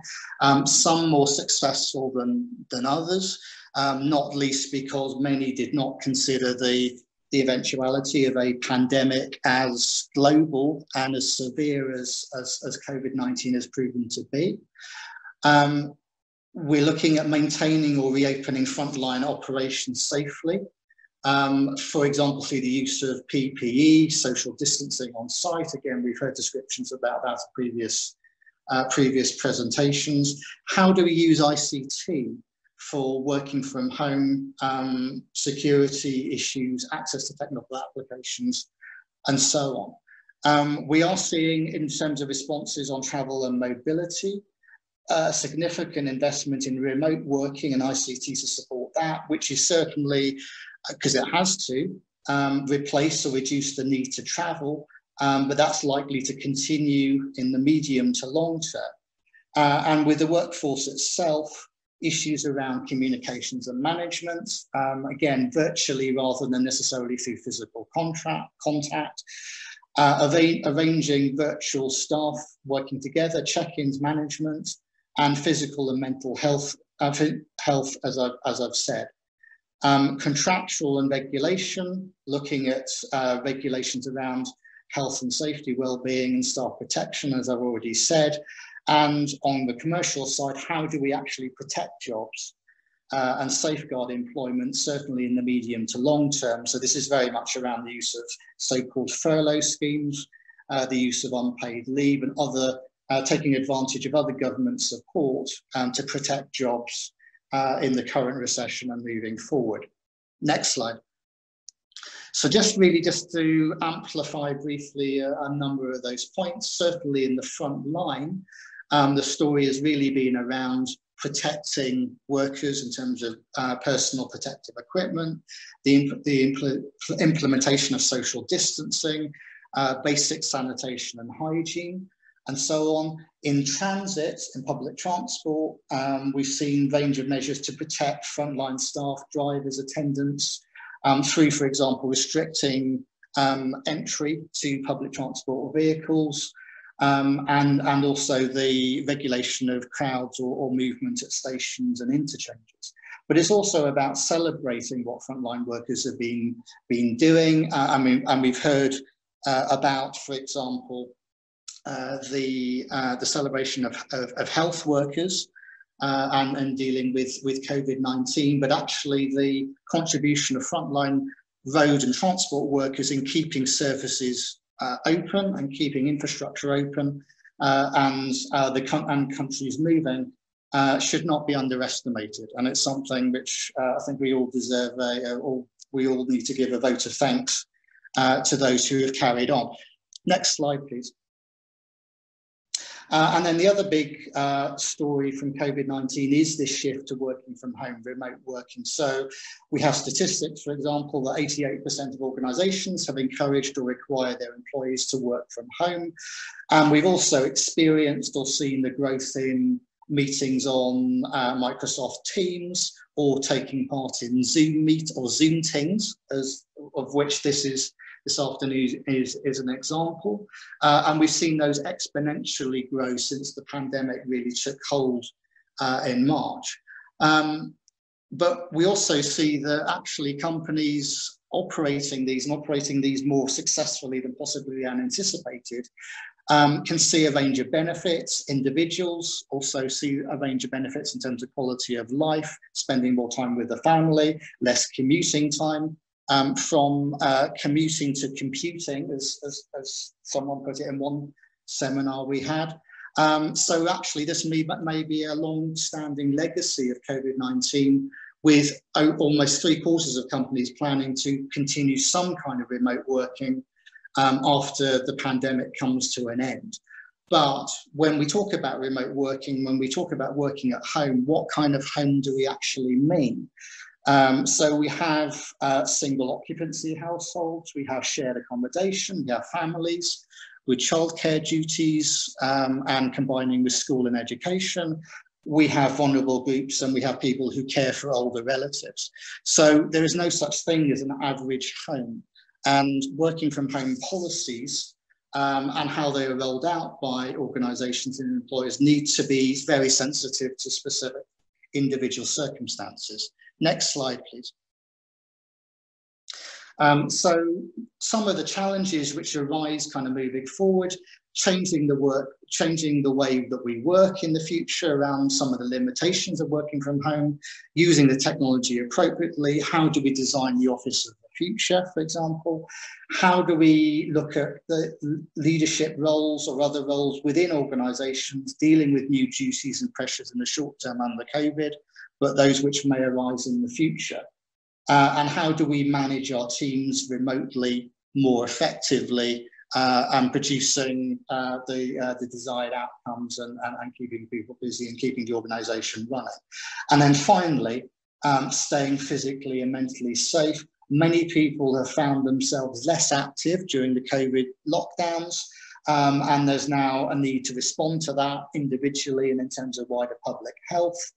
Um, how do we connect or relate to our families and our partners? Um, and how do we balance those relationships at home and also working at home? The, the home is now our workplace as well. And also, of course, uh, pressing concerns now over COVID, but also uh, concerns about future pandemics and future health and safety crises that may arise. Next slide, please. Um, so I'm not going to uh, go through these in, in detail given, given the time, um, but under each of those, changing the way we work, leading and involving ro roles remotely, uh, staying physically and mentally safe. There are a range of different lessons and a range of different actions that either organizations need to deploy uh, with the remainder of the COVID-19 pandemic and the crisis, which may well go into next year, but also how they design and they operate their organizations in the future uh, as a legacy. And just here are some just uh, some examples of what we've been doing and other companies have been doing uh, during uh, the pandemic. We provided, for example, learning material uh, to uh, some of our employees with children uh, to keep children entertained during the working day and possibly less of a distraction from what's going on. We've also given, uh, for our staff coming back to the office, coloured bands, uh, depending on how comfortable they are or what the circumstances require in terms of social distancing within the workplace. And we've also seen organisations actually reward some of their employees for actions during the pandemic, for example, providing a pay rise in the case of British Telecom, for example, or providing additional uh, vacation or annual leave uh, in the case of Citibank. Um, so organizations pursuing a number of different um, uh, responses and examples there. Um, so really just some final remarks really just before I conclude. Um, during COVID-19, employees in the road and transport sector are affected by many logistical and practical challenges in the same way that employees and workforces across many other sectors and organizations worldwide. However, uh, in many cases, they are also key workers with specific duties to keep road and transport infrastructure open and keep services um, uh, operational. Um, and there are numerous stories of employees doing that successfully. And yeah, hashtag transport heroes, hashtag guardians and mobility is a way of celebrating and recognizing some of that. In the private sector in particular, um, there is unfortunately a lot of issues around um, pressures on workload, slowdown in business, salary cuts, job furloughs and redundancies, and we're not going to see end to that anytime soon, unfortunately. But looking more positively into the future, roads and transport will drive the economic recovery, and investing in infrastructure, construction, operation, and maintenance will create jobs um, um, but we need to make sure that those jobs are green, inclusive, uh, and high quality. And then the final point is that some trends that we've seen during COVID 19, working from home, online services, and so on, will endure uh, as part of a lasting legacy of the pandemic. And uh, uh those themselves will have an impact on the future use of transport networks and the demand for mobility. And very last slide, Patrick. Um, so I started with Theodore Roosevelt. I'm finishing with Oprah Winfrey. Um, we are doing what we have to do right now because we have to do it. But in the fullness of time, we should focus on what we want to do uh, and actually deliver the objectives and the vision that we want to achieve. Thank you. Thank you, Jonathan. I think this, this is indeed what we all want to do. Uh, and let's move on to our next panelist. Uh, thank you, Jonathan. Saverio, very welcome.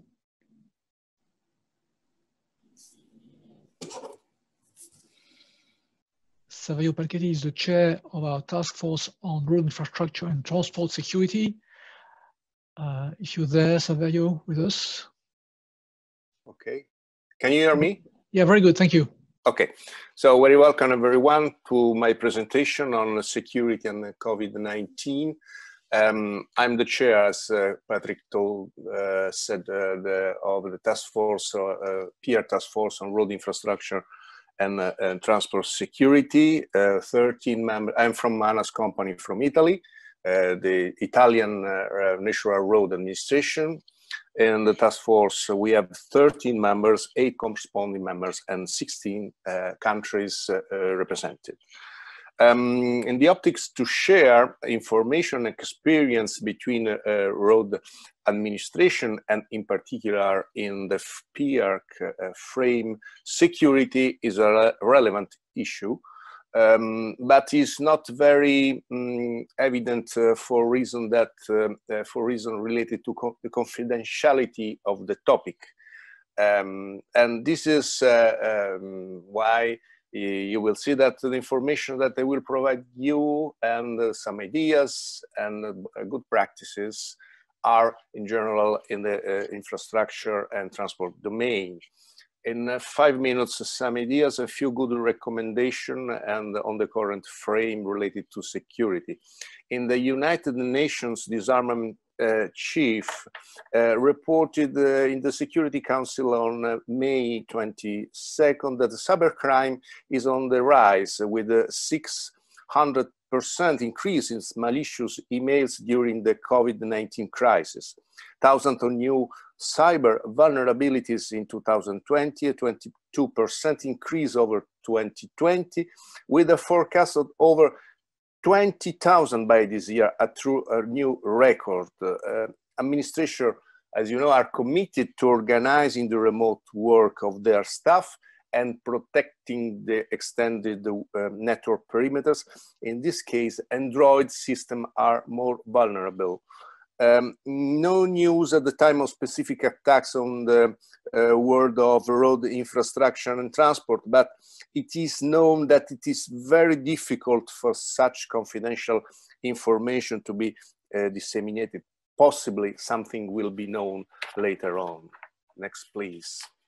I would like to put in evidence some examples of cyber attacks to sensitive infrastructure we had in this period.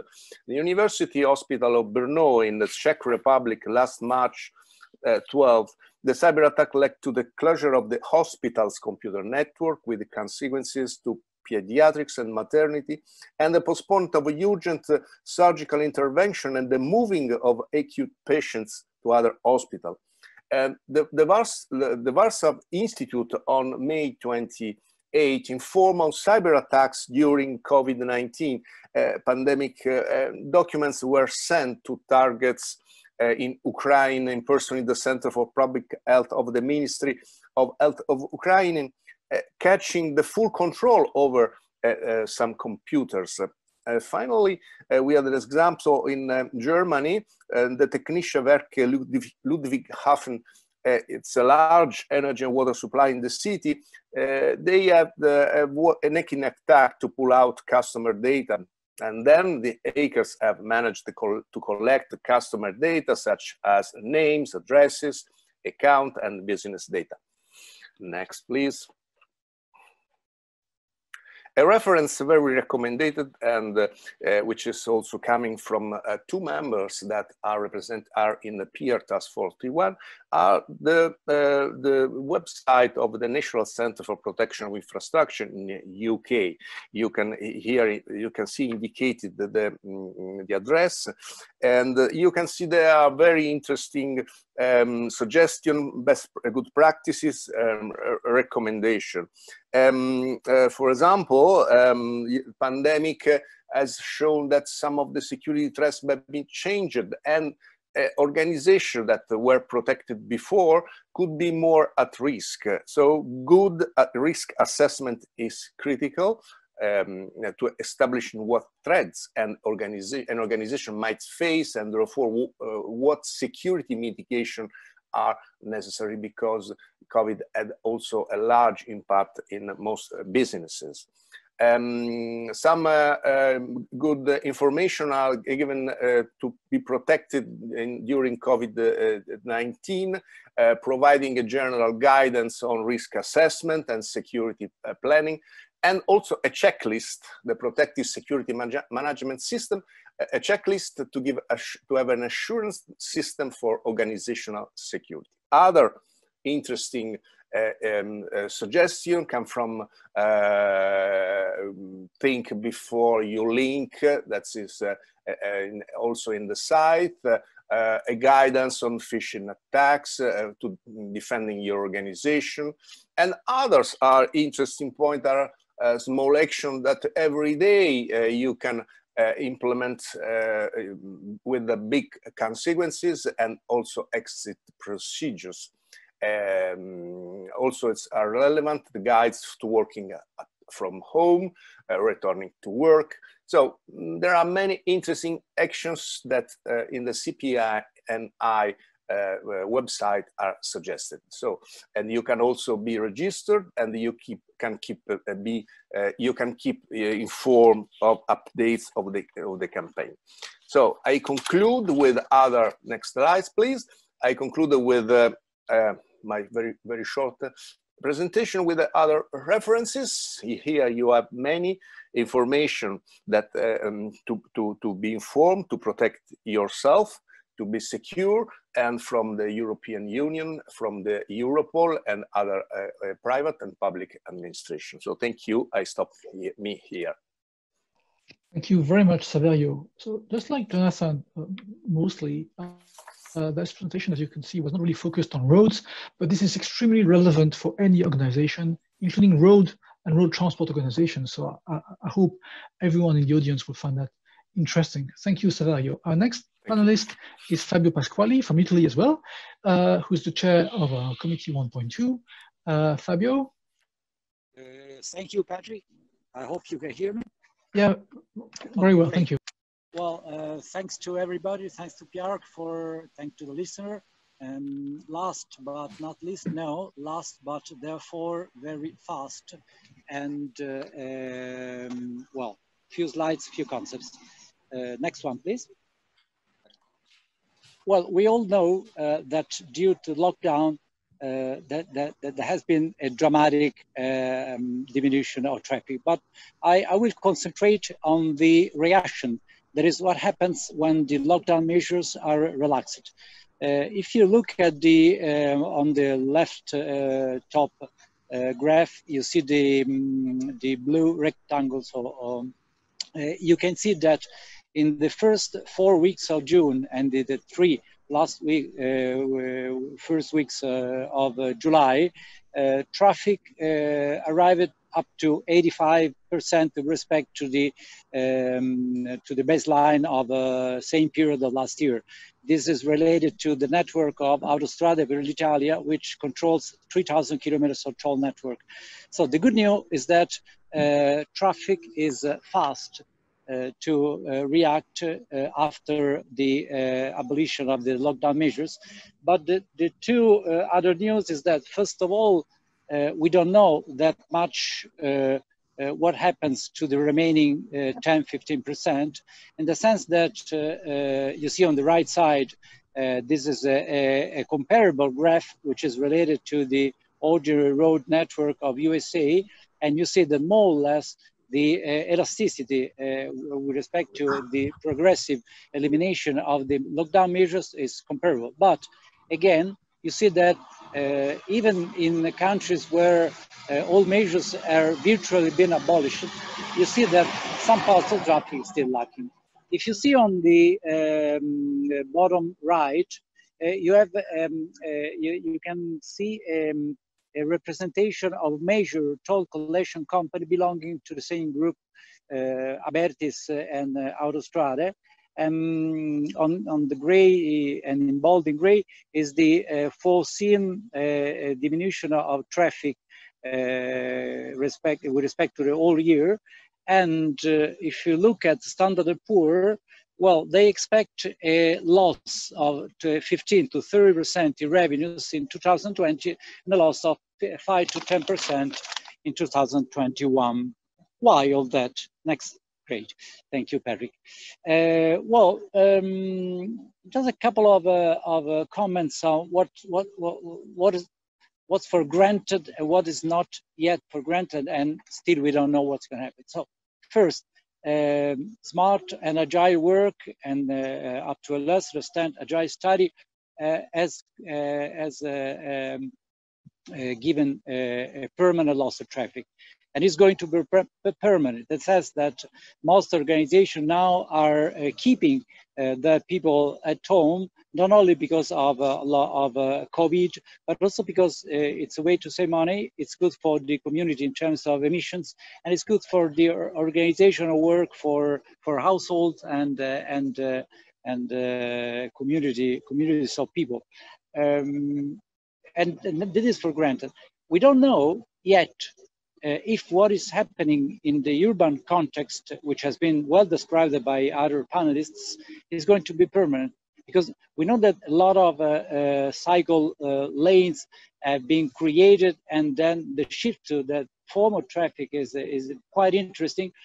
But it's, it's too early to say if those spaces, urban spaces, have been granted to those users because there is no major traffic or because it's a permanent will of the administration that is ready to defend that, those choices, which are unpopular from some points of view, but you cannot open two cycles and at the same time keep traffic uh, car traffic at the same level. It's very dangerous. So uh, we don't know yet if it's uh, too early, if, because it's too early. It is also too early to say, to understand whether the modal shift uh, with respect to road, which is supposed to gain share uh, vis-a-vis -vis, rail, including commuting and including urban railways, is true or not. because the competition between road and rail is at the moment unfair. Uh, trains, commuter trains are um, supplying uh, 50 or 60% of available um, seats uh, due to uh, the need to ensure uh, distance uh, for obvious reasons. And some 40 or 50% of trains are supplied.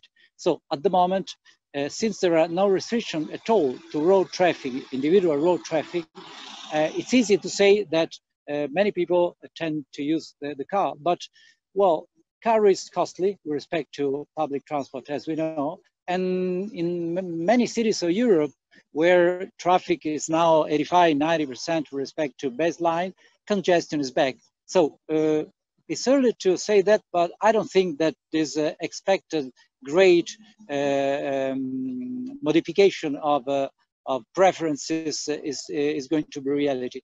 Uh, well, some other um, trends are interesting, but not yet well defined. For instance, prudent tourism flows well, um, uh, lockdown is uh, determined by uh, law, but if, if you decide to relax, fear is a great uh, engine for people. Uh, even though tourism is open to uh, all European countries with some minor ex exceptions, well, we see that um, with respect to baseline, we are 30 or 40 percent. So 6 percent of interest international tourism is still lacking. Uh, many, uh, we know that now it's summer because we, we have figures. Uh, many people prefer to, to uh, to refer to domestic holidays. Um, well, other couple of things is that uh, there is a, a, special attention to uh, the management of mobility to uh, labor forces, which is very interesting and good. And sustainable sport, transportation is still on the track in the sense that uh, administration and agency uh, did not um, um, stop or or um, the less, um, let us say, mm, well, uh, uh, make minor efforts with respect to the uh, programs related to climate change and environment. Next one, please. A couple of comments. next, Patrick, please. Sorry. Can you hear me? Can you hear me? Yes, I'm on the supply okay, side. Great. Sorry. Okay. Thank you.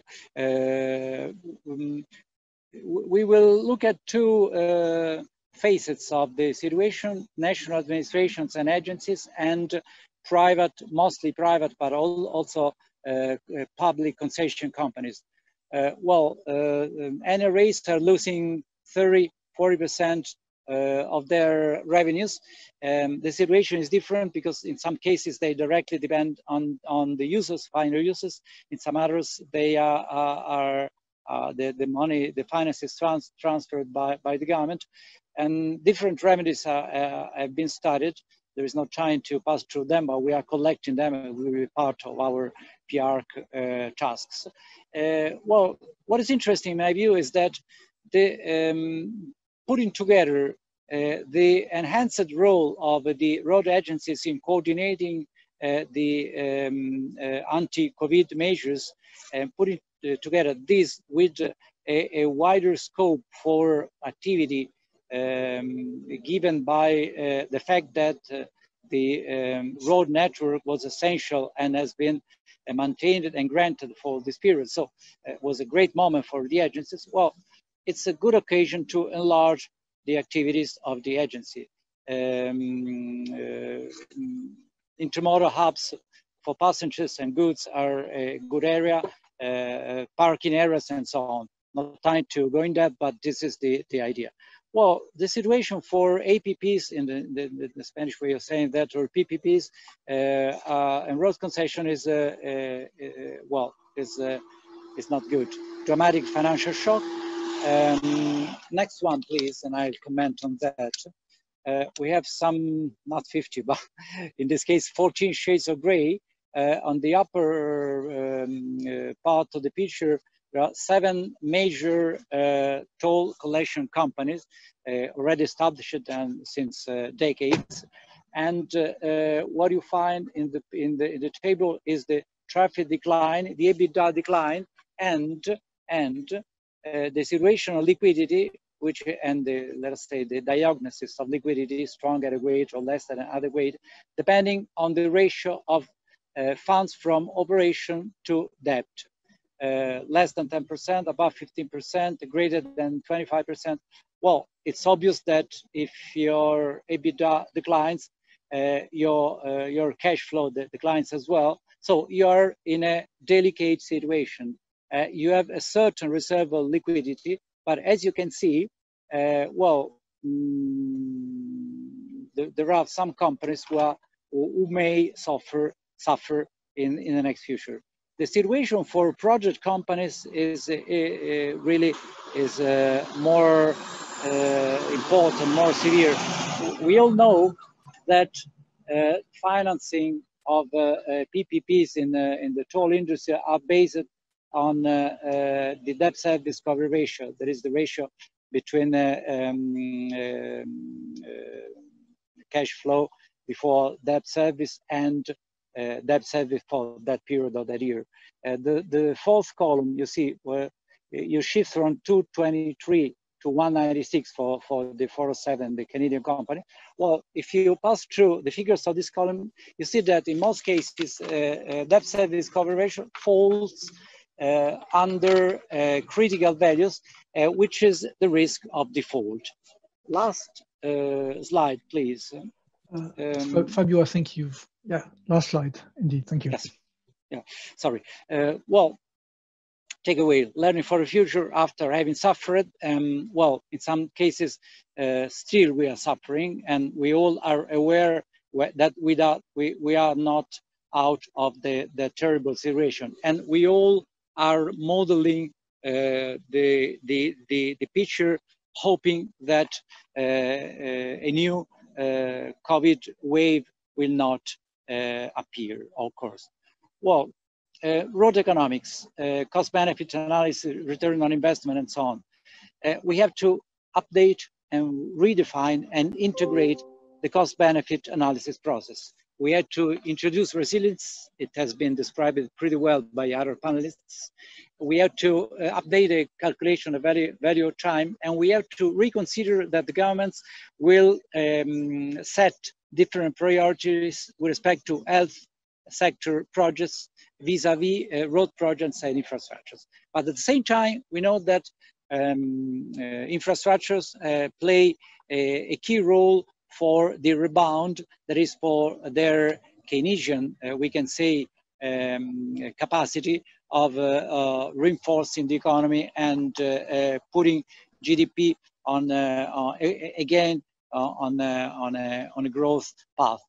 for PPP and APP, well, it's a little, little bit more difficult because um, they are very, the, those contracts are very rigid, we know it, but at the same time, this uh, situation, unforeseen situation, has shown us that it's not possible first to uh, give uh, all the damage of what happened, uh, what's happening to the private companies and to the concession companies, because it's uh, at the beginning it seems a good deal for the public, but at the end is not. Uh, and second, we, we, know that if we decide to enlarge the, the franchise period, well, uh, you can uh, supply some economic benefits to the investors, but no financial effects and no financial benefits at all. So uh, we had to reconsider uh, for instance, include, uh, introducing from the very beginning in those contracts the uh, flexibility in the franchise time, uh, we have to reconsider shadow toll and availability basis con contracts because they, they, they, they, they, they prove to be very strong in this period. But all in all, essential assets, assets must be defended. But we can see even more defensive uh, assets must be defended. Uh, we all need institutional investors and we all need investors who are uh, looking for long-term uh, um, uh, um, uh, assets with relative low risk. We have to defend in the sense that the risk must be kept low. Fabio, may I invite you to conclude? Please? Yes, thank you thank you to everybody, to the PIARC community, and to the superhuman efforts of the PIARC response team. Thank you. Well, I was not expecting that. Thank you very much, Fabio, and thank thank you for making yourself available. We did organize a webinar on those topics, so you're all very welcome to refer back to that webinar in the past, and also still very welcome to ask questions. So this leads us to the wrap up and to the next steps, which will be presented by Christos. Christos? Uh, it helps if I unmute myself. Um, you think that after all these webinars, I would have figured out where the unmute is. Um, hello again, and thank you for uh, staying with us through our last webinar as we wrap things up for the summer and we start looking ahead at how we can continue providing value not only to PIARC members, but also the general transportation community. Uh, we're all in this fight together, and as was said earlier, an idea shared now can save lives, improve business resilience, and could minimize disruption of service. Next, please. As you have seen from the last few months with what has come out of this effort, the General Secretariat saw a need and reacted very quickly to establish the PIARC COVID-19 response team to help address that need. The response team broke new grounds using new collaboration tools and established new norms on how to get things done quickly. The team took a just do it uh, approach. I know we stole it from Nike, but you know, it was really about just doing it and delivered valuable information in a very short amount of time. There was a time when we were working on the synthesis notes that the team took advantage of the time zone differences among us, and someone was practically working on advancing things on a 24 hour basis. This is how we use technology to our advantage. Getting information out to our community was fast tracked, which means that it did not go through the rigorous exercise of validation that PIARC reports typically go through.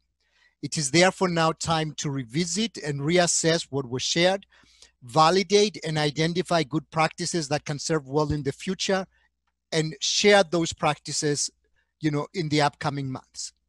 Even though many of us never had the opportunity to ever meet in person as we're working on different strategic themes and technical committees the common goal shared by all um, and the team approach allow us to quickly break down any barriers and work together not only across technical committees and strategic themes, but also with partner organizations as well.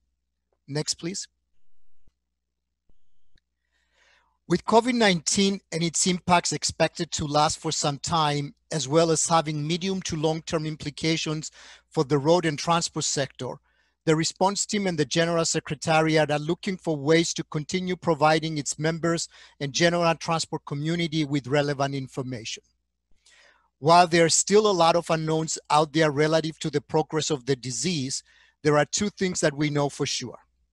First, it is that the road sector will continue to be facing COVID-19 related impacts, not just in the next few weeks and months, but possibly for much longer which lead us to the second point, and that is the time to reevaluate many of our current practices, rethink our strategies, and reimagine our traditional approaches in order to better address the needs of our customers.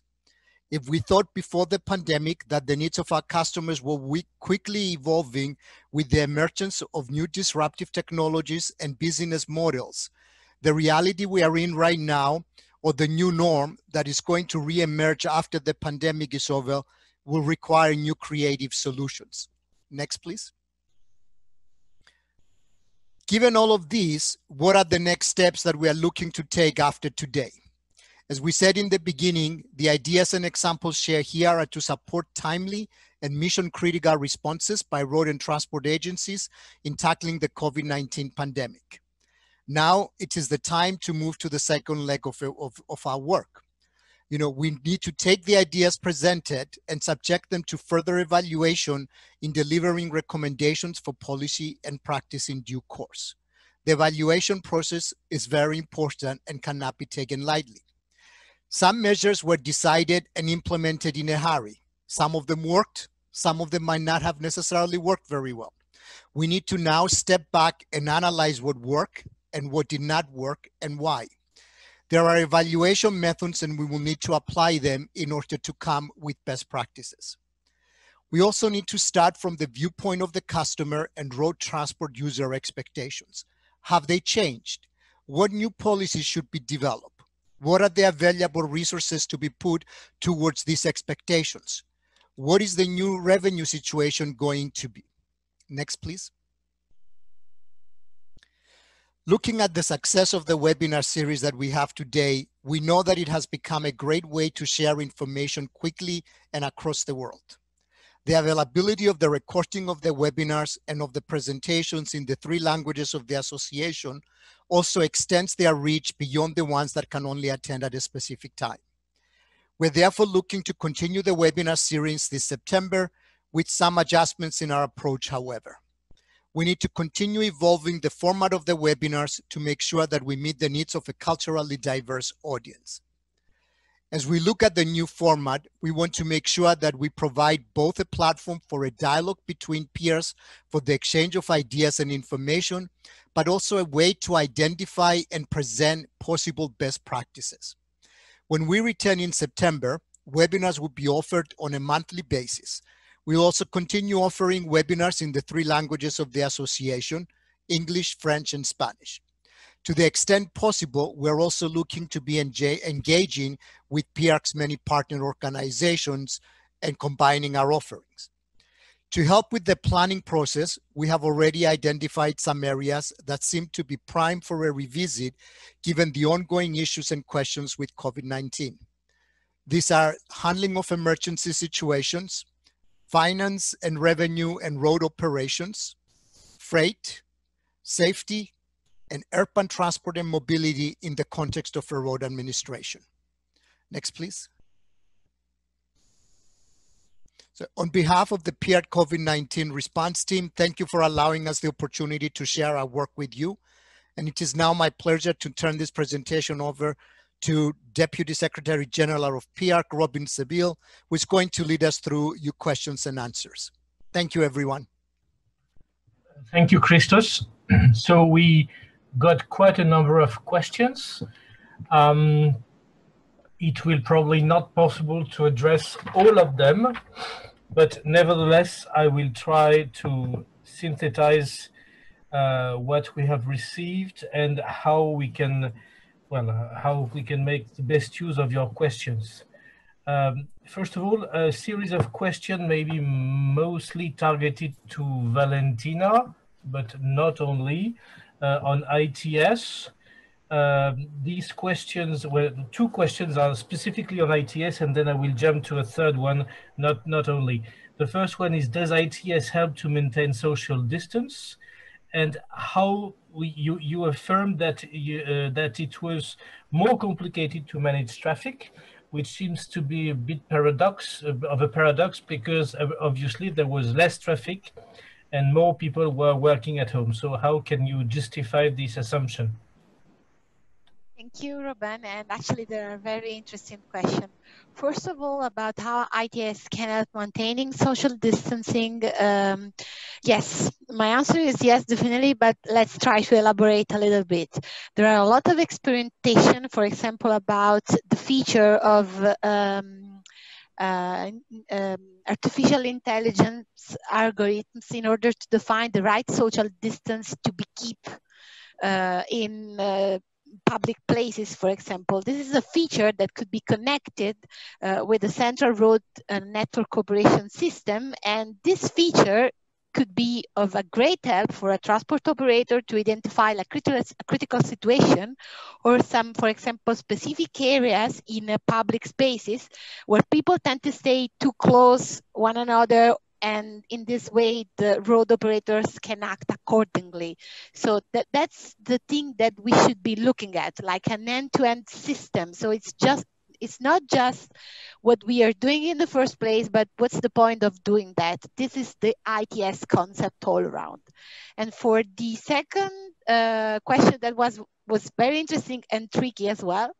Um, when I said that it was more complicated, I said that because according to what we saw, above all, uh, experiences uh, related to urban or peri-urban areas, we can easily see that traffic decreased, but we can, if we consider traffic composed only from vehicle or let's say motor vehicle. But if you open up a little bit your sight, you will also see that the, the mobility uh, were more complicated and it is more complicated now because it is changed the, the variety of the um, items that are moving along the street because we had more bicycle, we had more micro mobility forms. So the, the complication and the complexity for road operators would be um, try to manage the impact of these different mobility forms into the road network operation systems. Okay, thank you, Valentina. Uh, and um, a, a, last question, which addresses both you and Mr. Kim. Um, you mentioned the development of new types of PPPs. Can you elaborate on this? And maybe the question will, made, will be made broader to our colleague from ITF. Uh, how does he see the future of of PPPs in the road sector linked to the COVID question and, and to the future development that we can expect? Thank you. Thank you for the question and interesting but difficult, we know. Basically difficult because uh, we have to admit that uh, private sector and public sector have, have different genes. So private sector looking for profit and public sector is totally non-lucrative uh, body. But uh, I uh, raised this question uh, because during this COVID-19 crisis, to react and reboot and rethink. So that's uh, one of the slogans that we used for our policy briefs, uh, talking about uh, the reshaping the space in our cities. So basically, when we have an unexpected crisis, then the crisis become the enemy of the private sector and public sector. So there, there are enough reasons to uh, collaborate between two, uh, two different uh, genes. So I would say um, maybe at the beginning we have to react immediately how we have to uh, bring uh, more stability to our community. So in that stage, basically there is no, uh, no benefit of distinguishing private or public sector in, in any ways, because we have to bring stability back first. And when we have more stability, we have to reboot in collaborating uh, with uh, each sector. And then uh, if we have more stability, then we have to uh, decide what to do about regulations and uh, resilience systems in the future. So basically that's uh, the basic scheme of our logical thinking about how to cope with this private sector and public sector cooperation. But uh, in the long term, uh, we know that both are the components of a community and society, but uh, sometimes we fight or cooperate and collaborate. But anyway, we learned the lesson during this crisis that we have to set up a resilient system and smooth cooperation system between two different sectors. That's, that's why I mentioned that in this context. Uh, thank you, Mr. Kim. Maybe two other questions to you uh, from your, let's say, high level and uh, worldwide position. Uh, can do you already have an idea of what the long-term impacts of the crisis on transport, that is, on demand, mode sharing, uh, environment, well, all kind of broad issues could be? And then I will have another one, which is a bit more provocative. Yeah. Of course, impact on climate uh, change issue uh, is quite clear because we really felt that the goal can be achieved because during the uh, 50, 55 day lockdown in Paris, for example, everyone was really surprised to find, uh, to see uh, the clear, uh, the blue skies with a very cleaner, the fresh air. So we really felt that, but in, in reality, basically, we had some problems in, in, in the government and in the world, uh, even uh, between sectors. So for example, between environment and transport sectors, we had some kind of competition and sometimes uh, conflict. And uh, the COP meetings, always environment people, environment ministry represented member countries, but really 25% of the uh, CO2 emissions come from uh, transport sector. So basically, uh, we didn't really know how to cooperate and what to do. But uh, thankfully, during this lockdown period, ITF launched a very uh, useful uh, directory, so-called Transport Climate Action Directory. And there are more than 60 measures the government can use. And every measure provides quantifiable impact of reduction of CO2s. So now uh, a lot of uh, the countries and even private sector and researchers can refer to this uh, directory uh, to quantify the measure of every, quantify the impact of every measure and this measure was endorsed by the UNFCCC. So basically now policymakers can more concrete approach about uh, how to uh, mitigate the CO2 reductions, especially in the transport sector. So definitely now ideologically, we know that this is a way to go. And now we can see more clearly that how we can get there. So I think uh, this is a really uh, good move. Uh, thank you very much. And the second question, slightly more provocative, is announced. Uh, one of the uh, attendee assumes that, in a way, transport is too cheap, uh, which pushes for uh, worldwide transport on a large scale throughout the world. And with the crisis we went through, are there ideas or incentive to reduce the volume of transport and find a more sustainable and resilient I would say, um, economical system with less long-term distance throughout the world? Yeah, I think uh, this is really a difficult question because uh, paradoxically, paradoxically, uh, during this crisis period, uh, some governments encouraged people to use private car rather than public transport system to avoid congestions and contacts between individuals. But now um, we, we have to uh, think about a new approach uh, regarding uh, public transport system because public transport system can really replace private car and uh, traffic, uh, reduce the traffic on the road. And we, we know that now um, we have to focus on uh, convenience and security and safety and resilience. And in, on top of these, uh, we have to also think about, you know, health, health factors, as I mentioned. So now um, to make a complete set of the elements necessary for public transport sector in, in ideal situation.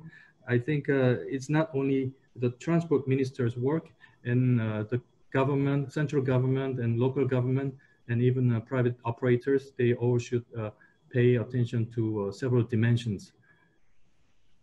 Thank you very much. Um, also some broad questions. Uh, I suspect this would be more targeted, Patrick, to you.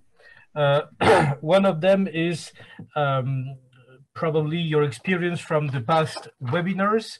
Uh, we observed that uh, situations regarding the uh, the severity of the pandemic, uh, the economic and social situations of the countries are very different.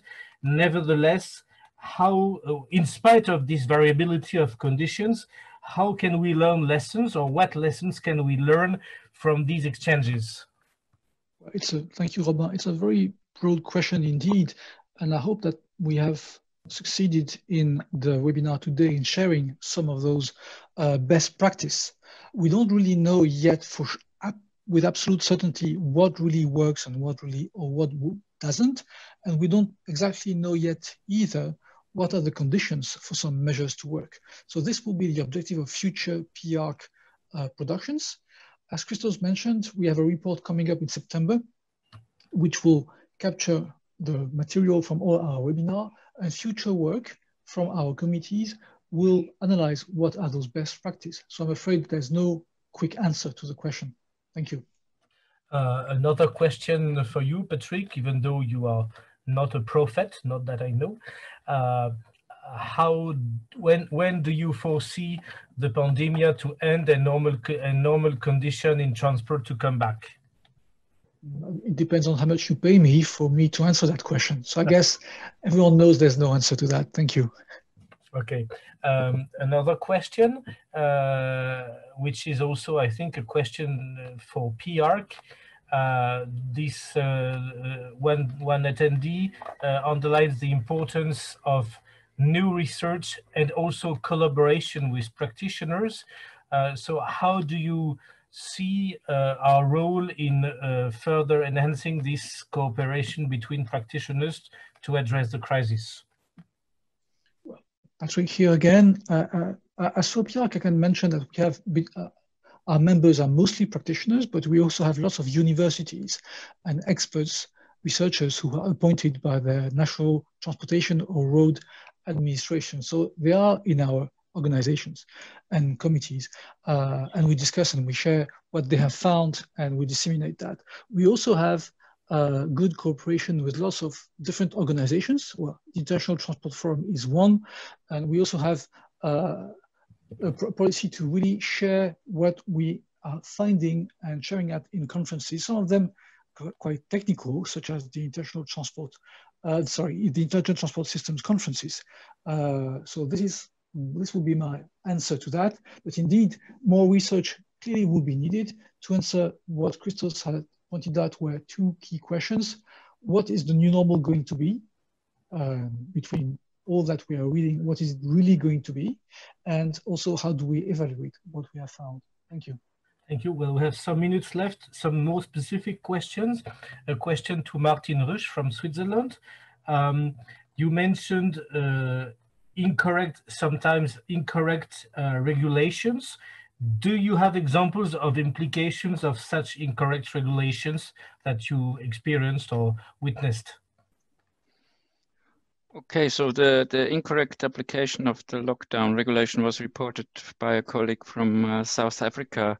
To my knowledge, there were unlawful arrests of trucks and drivers, most probably the easements of the regulations were not considered. But I know, don't know the details, but I could ask for them. Mm-hmm. And, and there was also a case in Germany where medical equipment for Switzerland has been stopped and seized at the port in Germany, and it needed political intervention uh, to solve the problem. I think it, was maybe just at the beginning of the lockdowns where these kind of problems uh, occurred until some kind of practice uh, was uh, established. Okay, thank you. Uh, another specific question to Flavio Pasquali, uh, Fabio Pasquali, sorry. So you you seem to assume that PPPs, uh, at least in certain circumstances, are not favorable favorable for the state, and you are asked to elaborate on this very point. Well, thank you for, for the interesting question. Uh, the point is that, as we all know, PPP is the result of a negotiation in which both parties uh, must find their convenience.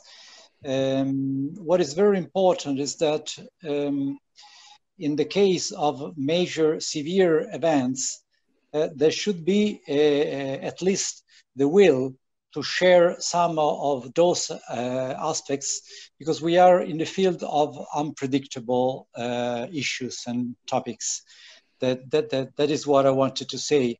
In principle, in my view, the uh, public bodies, I mean the, the, the bodies which grant, the, which negotiate and grant the concession, uh, should allow for a, a higher flexibility and hopefully this could be followed by the financial institutions as well that are, as we know, more rigid because at the end is their job. Uh, this is necessary, otherwise we are going to lose part of uh, in final investors, families, households, and institutional investors. And without those finance, that, that, that, that will be not a fair situation for the industry. Thank you. Uh, there is a question that we will not have time to address. Uh, it's a question from, a, from an attendee from Honduras, uh, wanting to know whether we have analysis uh, in her region. Uh, actually, I invite her to have a look at PIARC website, where uh, where she can uh, download the results of the uh, seminars held in Spanish, and I'm sure that she will find a, at least a partial answer to our question.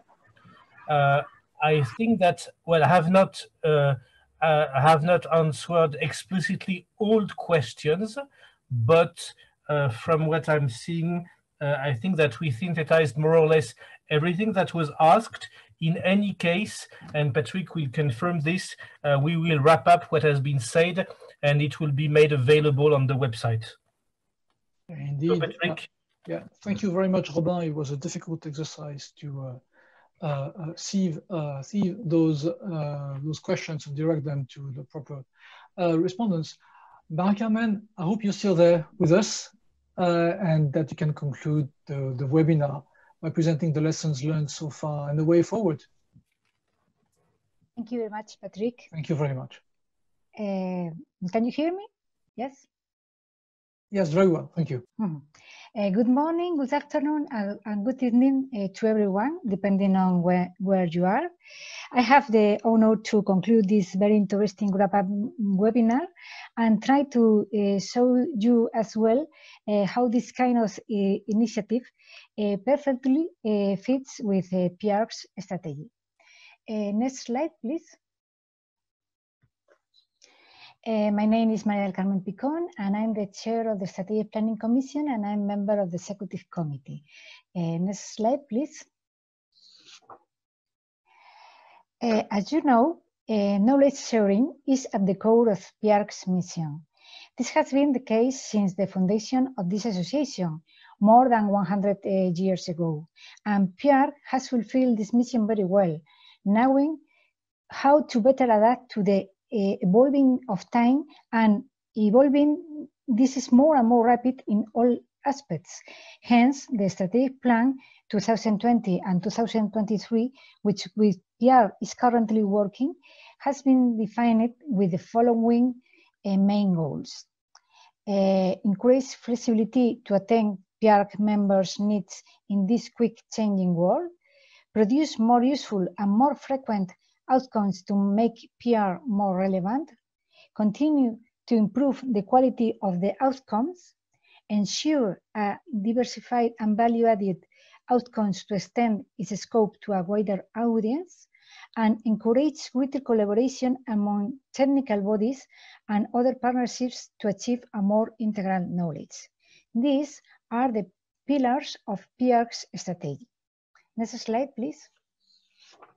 And PIARC's response to the impact that COVID-19 has had and will still have on roads and road transport is a clear example of the, of the development of PIARC's strategy. This response fits perfectly with PIARC's strategy. Firstly, because of the, of the flexibility, since the response has been quick when necessary and has been adapt adapted to the evolution of the situation itself. Secondly, because the more than 20 seminars had provided excellent presentation that had allowed the sharing of ideas, practices, and experiences, which has made them a very useful tool for road and transport administration. All this knowledge is also collected on a special website in the three languages, English, French, and Spanish, which also includes other relevant documentation such as related PIARC technical reports and synthesis notes. But as mentioned in previous presentations, information has been gathered in the short term, which will serve as which will serve us as a basis for further knowledge building in the future. In parallel, we are considering updating the strategic plan 2020-2023 to incorporate issues related to the impact of this pandemic. Thirdly, the wide scope and worldwide dissemination of these seminars on the web has allowed to address many issues of interest, from road management during the crisis to the problems of passenger and freight transport, while considering the fi financial aspect, the security issues, and especially those related to the safety and health of workforce and users. In addition, we must congratulate on the large number of speakers and panelists and on the large participation in the webinars. And last but not least, it has been a great example of teamwork carried out by members of different technical committees, together with the staff of the General Secretariat, and with a good collaboration of partners. Next slide, please. But we cannot forget about communication. Let me speak on behalf of the chair of the Communication Commission, who, although she could not be with us today, uh, kindly provide us with this slide. Communication aims to support the mission of PIARC. Since, since the middle of March, in response to this pandemic, PIARC has responded to emerging needs quickly by leading international forum to support discussion on COVID-19 matters related to roads and road transport as a way of knowledge sharing, and has adapted its communication strategy to support this new activity, relying on online, online activities only due to the impossibility of eh, face-to-face -face meetings. It is, it is a new example of how quickly PIARC can adapt to meet new needs, creating a forum for discussion and using digital tools, allowing members from different parts of the world to exchange on best practices. In other words, PIARC can build on this successful experience to shape the future of the association, aligning with a world in constant evolution. Next slide, please. In summary, I would like to highlight that PIARC response to COVID-19 has been proved as a very successful experience by the good knowledge sharing practices carried out at the right time. This is delivering uh, relevant information quickly and according to the evolution of the events, and which provides us as a, a good basis for further knowledge building. And of course, I would like to thank a lot to all those who have made this response possible, to thank the great and hard work of the PIARC's COVID-19 response team, to thank to all speakers and panelists for their excellent presentation, and also to thank to all the participants on these webinars. I hope the webinars have been very helpful to everyone. And this is all from me. Next slide, please. Thank, Thank you, very much, much. for, for your Sorry. Thank you very much, Marie-Carmen, uh, Mhm. so, uh, for having attended the whole webinar, actually, because we have uh, uh, been a little bit too long. So this brings us to the end of our uh, webinar today. Uh, I would invite uh, the panelists to turn on their cameras if they want to, so that they can maybe say hello live to uh, all the audience. It's been a great experience. I'm very proud we were here uh, with you today. I hope everyone has found this useful. I invite you to, in, to visit PIARC's web, webpage at piarc.org and also to check uh, our information on uh, Twitter and on LinkedIn. Stay safe. Thank you very much, everyone. Thank you.